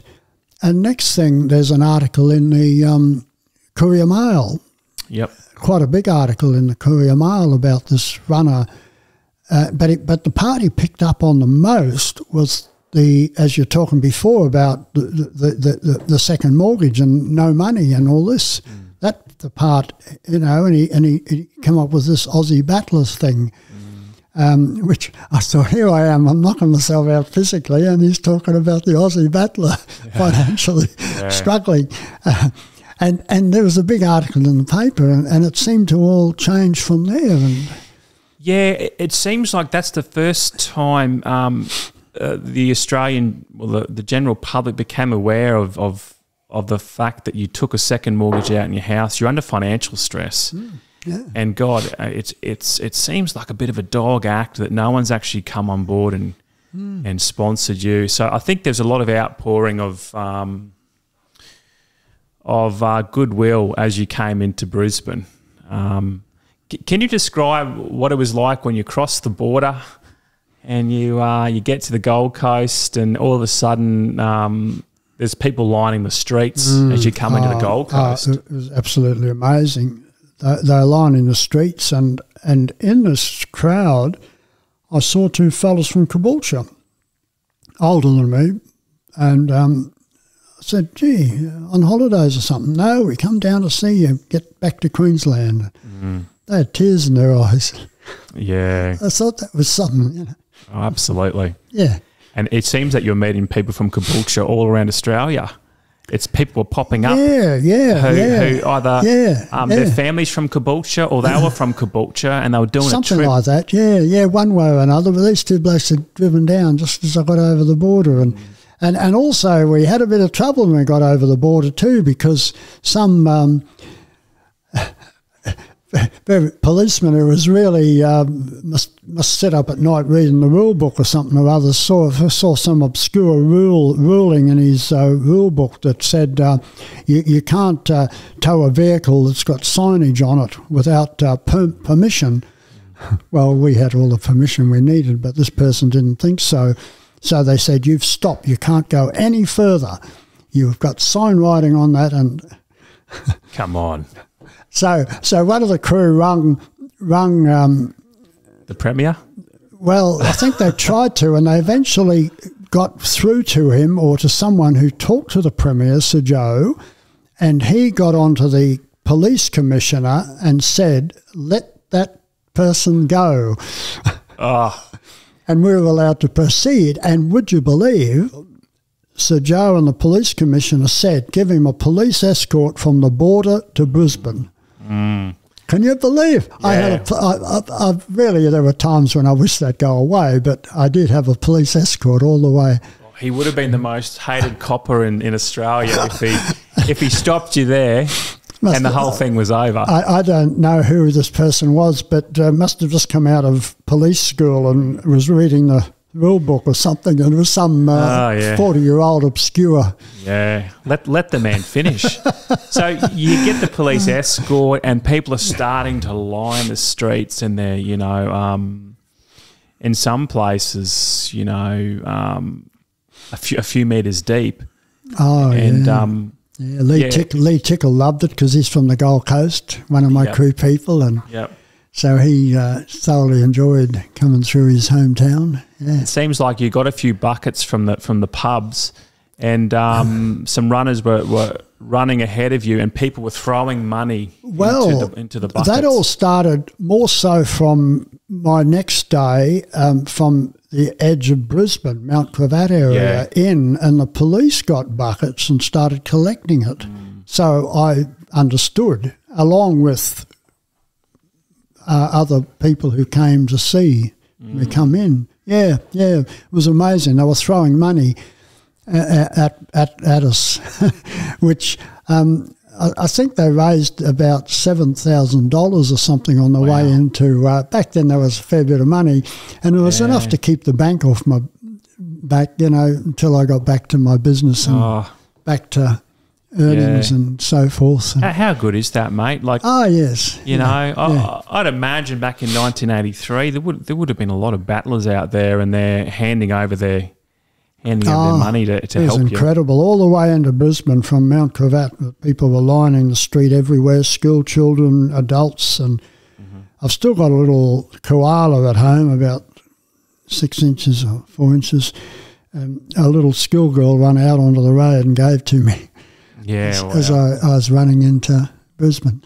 Okay, so let's go through the last the last night on the road. I imagine. I mean, how do you how do you get to sleep? You, you wouldn't sleep that night. Well, maybe not. Yeah, probably don't. I sort of. You don't sleep, and then you've only got you've only got 20, 25 k to go. Last I think. day. Yeah, something Last like day. that. Yeah. You've got yeah, this. Yeah. Even if you yeah. got injured, I'm pretty sure you could wrap something around your ankle yeah, and yeah. You know you're going to make it. Yeah. You're going to make it. Yeah. And it's just, it's really just a, um, you've got people lined the streets the whole way, and you go right back into um, Queen Street Mall. Yeah. Any memories of that day, mate? Must have been. It must have been the best day of your life. Oh, it's just un, un, well, yeah, well, well, it's so unexpected. You know, you, you, you, you, don't set off from home thinking, well, when I get back, boy, it's going to be terrific or anything, because you just don't think it is.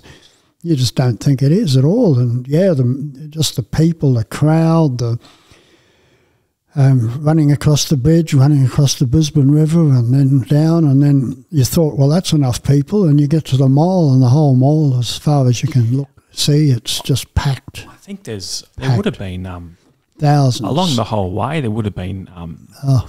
possibly along the whole way, possibly tens of thousands. Right? Possibly, yeah. It, was, it was it was big, all because John Hamilton came and wrote an article in the Courier Mail, and then all the TV and everybody picked it up, and and they run with it for a night or two before I arrived, and made it made it yeah really yeah it was it was marvelous. I think, mate, if you were from uh, if you were from a fairly wealthy family, you know, going to some elite private school, silver spoon in the mouth, and and if you went on embarked on this, I don't think. Um, I don't think you would have got the same warmth and affection. The fact that Exactly you're right. from Caboolture, working class suburb, Exactly. you're an Aussie battler. You Yeah. combine that with you taking out a mortgage. Yeah, Um, this is costing you a fortune. Yeah. No one's this is it. no one's actually um, help. No, corporate Australia is not helping you out.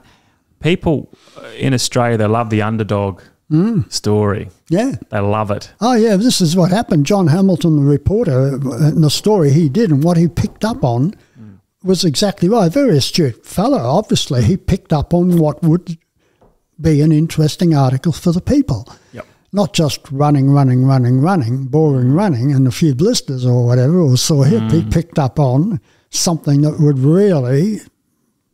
Uh, so, so the line was it's um, a run for the people, or the people's run, was it? Or the, a run.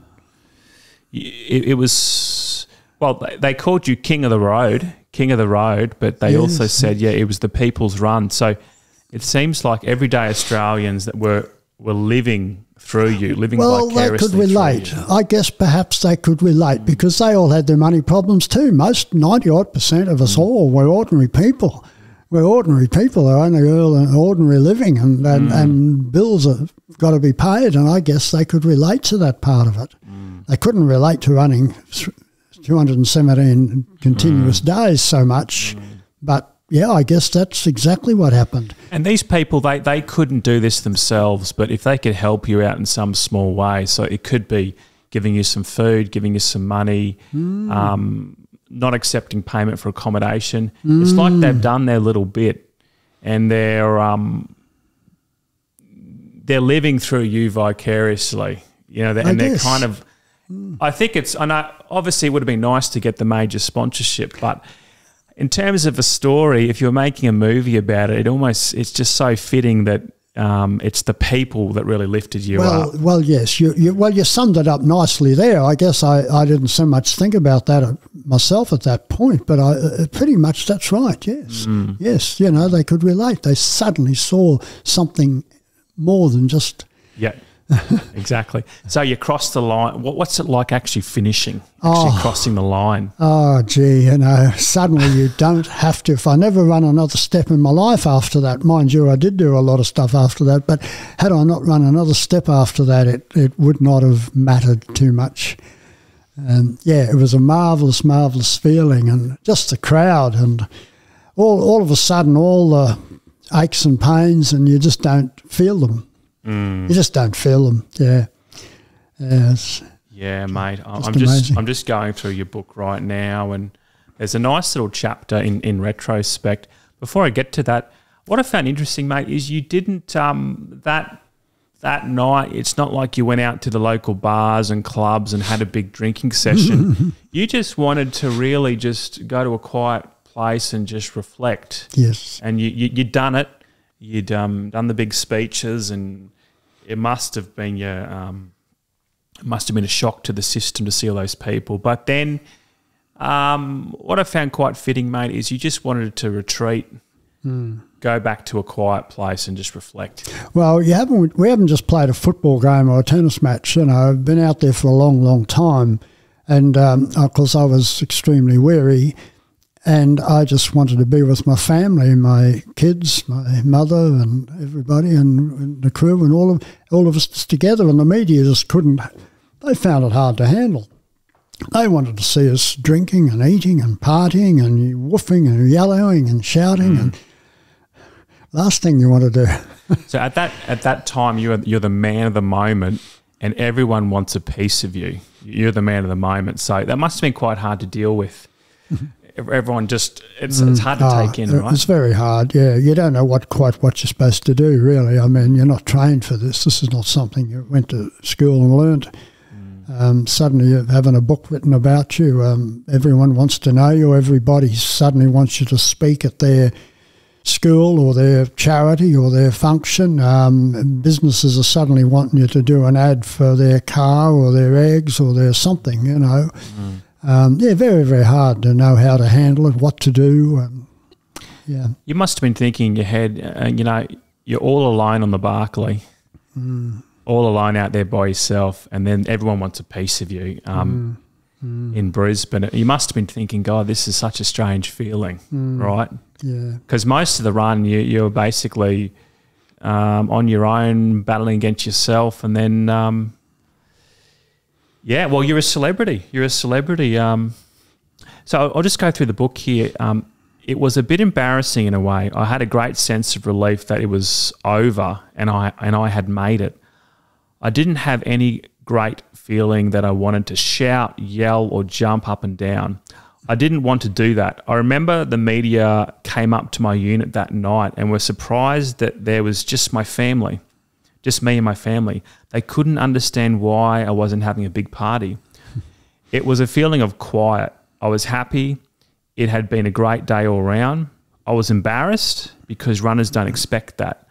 I was relieved that we had all arrived safely. I owed so I, I owed so many people so much. everybody had turned out to see me and the crew.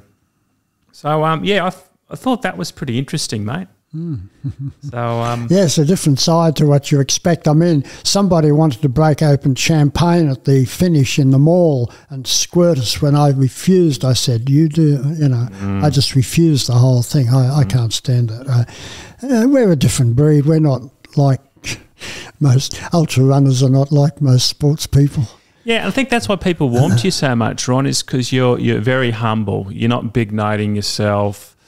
You're not walking around with a big ego and um, look at me, look at me. It's like you you've done the run and then you just retreat back to your quiet life. Well, you know where you stand. I mean, one of my crew members could run faster than me. He was faster over the marathon, the 42k marathon. He could run faster than me over anything. It's just that I did. My only claim to fame was I went further than the rest of them. Mm. So I, I knew where I stood as a runner. I wasn't the fastest or the best or anything. But, Yeah. uh, yeah, I just did more. What did you do over the next few days, few weeks, few months after your after your big run? Did you actually take a break? Uh, what point did you get back to your business?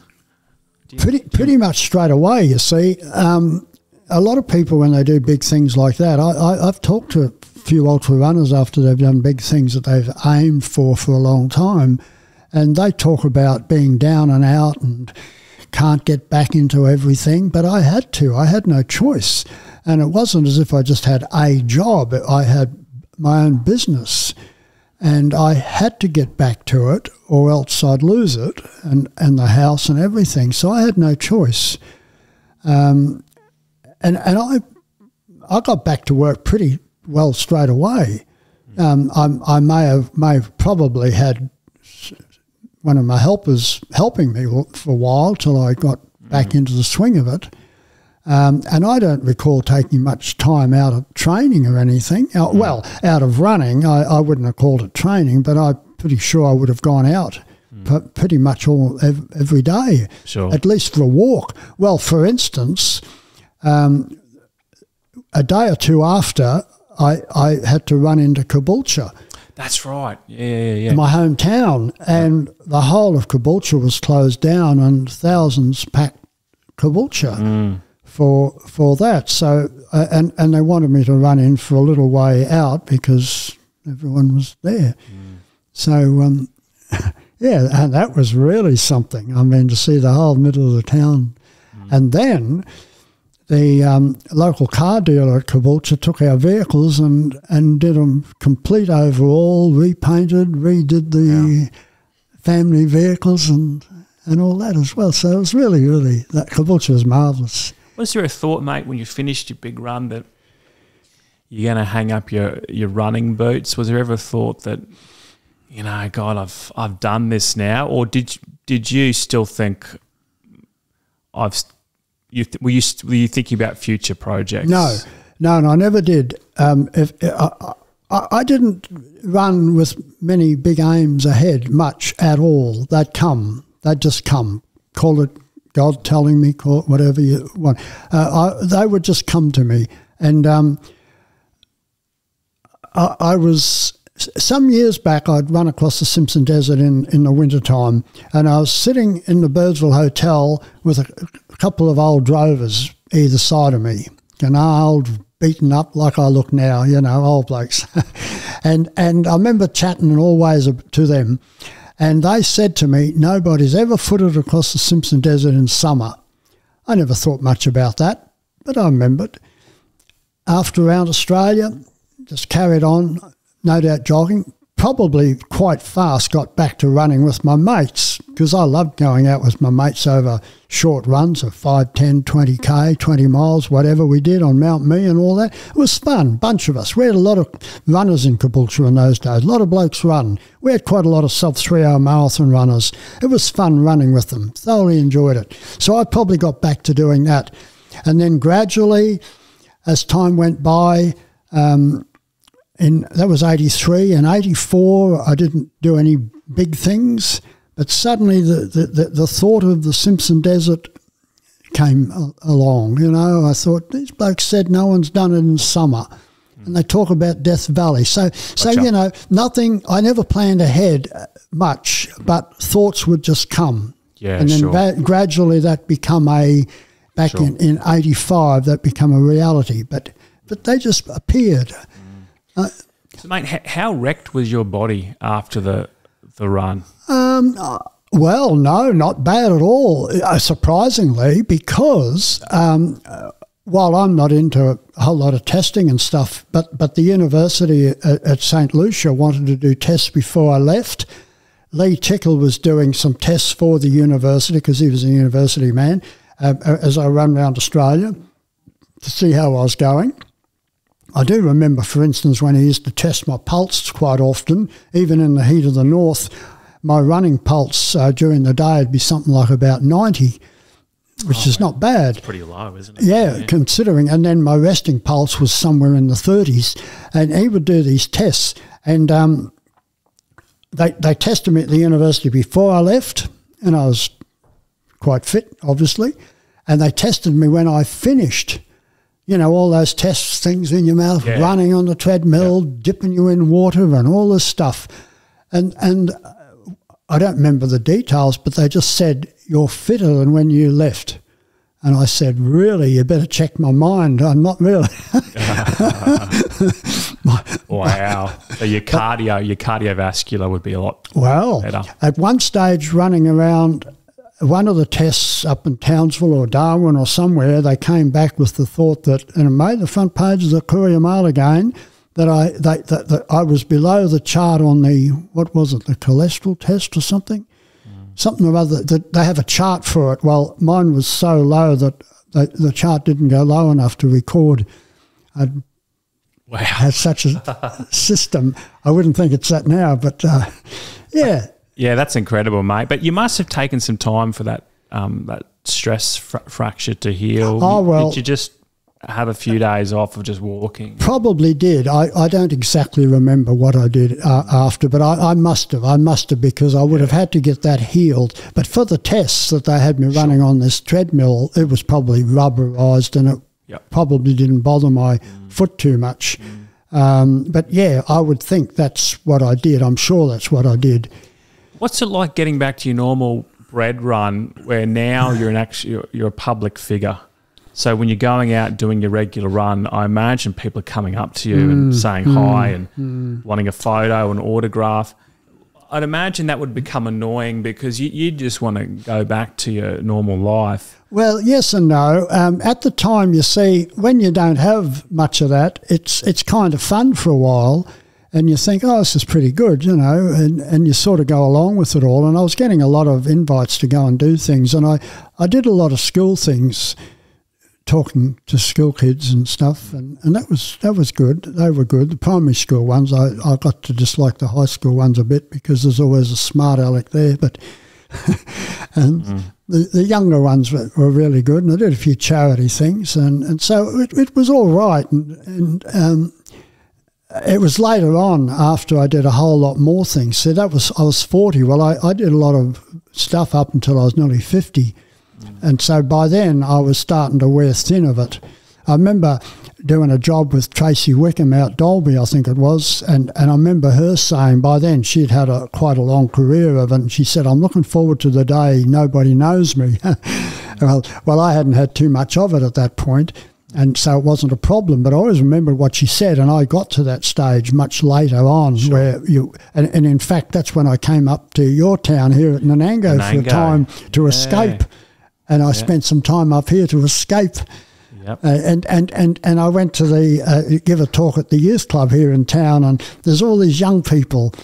Uh, Ian Jones had all these young people at his youth club, and he said, "You know who this is?" And some kid up the back says, "Yeah, the milkman." I thought I've, I've made it. I've um, I've escaped. That's great. It was Yeah. beautiful. It was great. Yeah. Well, mate, before I before we finish up, um, I don't want to hold you up, and I- I'd love to get you back at another point to talk about, particularly your your big uh, a thousand hours um, in the park. Where you Two of them. yeah, this is incredible because it actually relates to um, What to, you're doing. to what we're Mm. doing. It's a shorter distance, but it, it relates because um, it's over a thousand hours. Um, And 42 days. 42 days, yeah. So I'd love to get you back to speak about that. Um, mate, uh, firstly, do you think someone could run around Australia today and, and do something similar to yourself? Or do you think it's um, obviously 1983, Australia would have been a different place to what it is Oh yes, now? and you could run Highway One, and and, and it was a very different place, and it hadn't been done. Um, it's been done since, um, and and I got a phone call one day from Pat Farmer, and and, and he's done a lot of great runs, and and he's, he's a good run, and he said, Ron, I want to break your record. Will you help me? yeah, okay, Pat. And he went out and did it, but it took 17 years for someone to break that record, and Pat Farmer did, and then it took another 18 years for Dave Alley, policeman in Brisbane, to break Pat Farmer's. So they have done it, but they knew it could be done. The, Sure. the big difference is it's like uh, Hillary up Mount Everest. But after that, I thought, well, Hillary did it, so so can we. um, so yes, they can do it, but but also they have a big problem now, which where where the police are very strict, and and it's almost impossible to run a lot of Highway One. So it, it, it is really difficult, and Just- really nobody knows they did it. It's it's almost like, hey, gee, who cares? Which is a sad thing. you but know. just the permitting, the permit, the count. Ah, oh you, yes, You'd probably need a permit for each council. oh everything. You know, it, it Everywhere would you go. nightmare. Yeah, it was it was easy those days. You could do anything, you know. Mm. Same with organising running events on the road in in Caboolture in the early days. I could organise a fun run in the middle of Caboolture. Just go up to the police station, say I want to put the fun. Oh yeah, good on you, Ron. Uh, if I get up in time, I'll come and have a look. I mean, now you've got to go. You've got to jump through all sorts of hoops. So everything's harder. Whether you want to run around Australia or organise a little fun run. Yeah. So it took you 217 days. Um, the people who, who then went on to break your record, um, did they have your have the same uh, public speaking engagements and this and that and all the different things you had to do along the way, or were they a bit more business like in terms Uh, of? they didn't have so much time because they're out to beat a time, and, Yep. and so they had to sort of work a bit harder than, Yeah. in that respect. But they didn't have the mental uh, stress because they got sponsored easier, um, either because they were involved with someone or.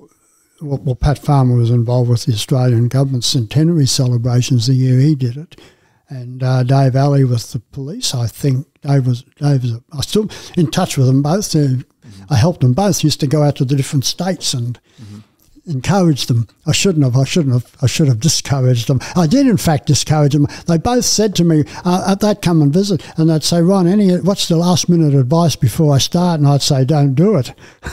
Mm-hmm. But they did. They went and did it. Um, so yeah, look, a- a different different thing today. If you've got to run faster, that's a big strain in itself. Can you run faster?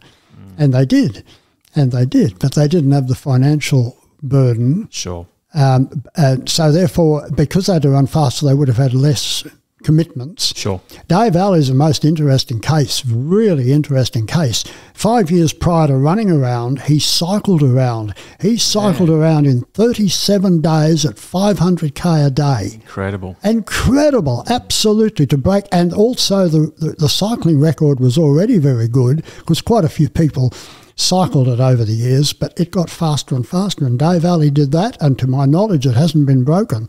Wow. And then five years later, he decides he wasn't really a runner as such, a very fit bloke, obviously. He decided to run around, and he rung me up and said, "Will you help me?" And he used to come to my house all the time. He still rings me up. We still talk Wow. some years later, and and he run around um, and broke Pat Farmer's record. So he holds Yeah. both the cycling and the running record for around Australia. That's incredible. Dave Alley, yeah, marvellous. and that was relatively recently, right? Yes, it was only Dave. Well, um, I'm thinking only five years ago. Yeah, yeah. Yes. And, and do you know how many days he did it in? No, I don't. Uh, and probably the reason I didn't take a lot of notice on times and days and stuff is that their course was not the same as mine. Ah, cool. Exactly. It couldn't Yeah, be. sure. They still went round Australia, but they had to go in and out here and there. Yep. And um, yeah, yeah, different, different. But, but um, I think they ended up having to do much, very similar number of days uh, because they had to do more to dodge the busy traffic. Yeah. You know, So, do you think if, if someone, yeah, if you got no financial burden, if you got this hot shot professional crew, you do your so many Ks for the day, and you go to a nice air conditioned hotel. oh well, they had air up. conditioned caravans too. Yeah, yeah, yeah. Our, ours wasn't. Yeah, and you just watch the TV, and you have no public speaking. Um, you just you're basically there to do a job, break the record, get it done. Um, Still be hard. still be obviously still I would. I wouldn't like to do it. Yeah, mate. Um, when I'm when I'm reading when I'm reading this book, it's it's a sense of sadness because Australia was definitely a different. It was a different time and place in 1983. The sadness for me comes, mate, when I just think today, if someone did it today, I just don't think you'd have school children lining the streets. No. Um, one because schools are very different places because you know you'd have to do a risk assessment you couldn't have kids kids running along the highway uh, for a few k's and, and just coming coming back and I just I think you could send an email out to schools. I don't think the email would get to the right people. Um, You're right. they'd take a look at it and they'd think, well, you know, this is too hard. One, Yep. would the kids be interested? They're so they're more interested in looking at their phones Yep. Than about someone running around Australia. And two, the paperwork that would be needed, you'd have to um, do a risk assessment. You have to send a letter home to parents. Um, there's no way you can have kids running along the highway. No. No. I think there's a real sense of sadness, mate. That Yes. I, I don't think your run could be replicated today and have that same No. feel good No, it couldn't. It, energy. it couldn't. Just look at Camooweal. What were we? A few k from the border, of the Northern Territory border, and and and almost thought the whole school. Well, the whole school run down the road with me, and some of them dropped off gradually, but most of them kept going to the border. Mm. And I had to say to them, "You don't think your mum and dad will be worried about you?" Oh no, Mister, it's all right. They're used to us going running and doing this and that. Mm. Marvelous, absolutely incredible. And many cases that happened. You know, yeah. And you know, the teachers would have been teaching the kids. Oh, Yeah. Mm. oh, you know, Ron's only half an hour away. We've got word on the radio, and they'd stop class, Just like that. All the school would come out. They'd Oh. line the streets. Marvellous. And, and that they would have Yeah. learnt something, Ron. Like they would have given you some letters, and there would have been an exchange between the two. Yeah. But you know what? If it happened today, I, I know I'm sounding cynical. Yeah, I know, but So, it's, Ron- it's sad, isn't it? The system is the system's gone overboard. But how much value could the kids get just to have that experience? And Yeah. they'd say, "Well, Ron, you know, we'd love to have you, but um, it, it, we've actually we can't interrupt the, we can't interrupt the maths class. That's right.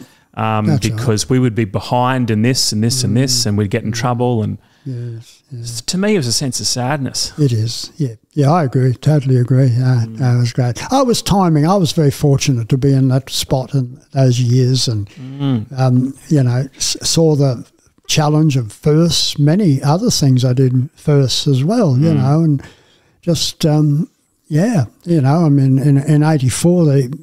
The year after Lady Cilento was named Queenslander of the Year, they named me Queenslander of the Year, and I thought, really, all I did was run around the country. This lady did a whole lot of. She was a doctor, Dr. Lady Cilento, marvelous stuff, you know. And for years and years and years and years, and and you, and you get that, and you think, wow, this is. It wouldn't happen today. It just wouldn't happen.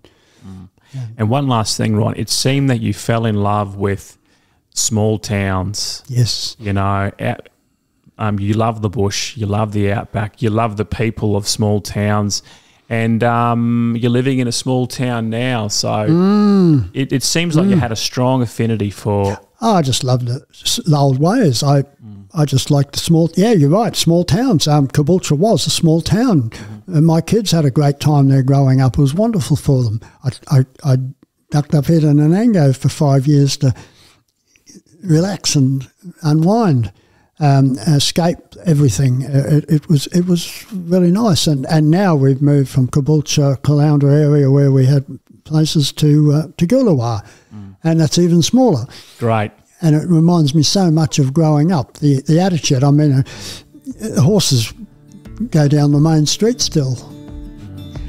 So you love the slower pace, Yes, relaxed ah, lifestyle. That's great. Yeah, Traffic's horrible. Yeah. Uh, No imagine traffic. sitting in traffic every day. no right? traffic. Oh, oh. Anyway, mate, I won't hold you up. Thanks so much for coming, and um, I'd love to get you back at a later point to talk about your other adventures. But um, yeah, really appreciate your time. My pleasure. Thanks, Timothy. Thanks, mate.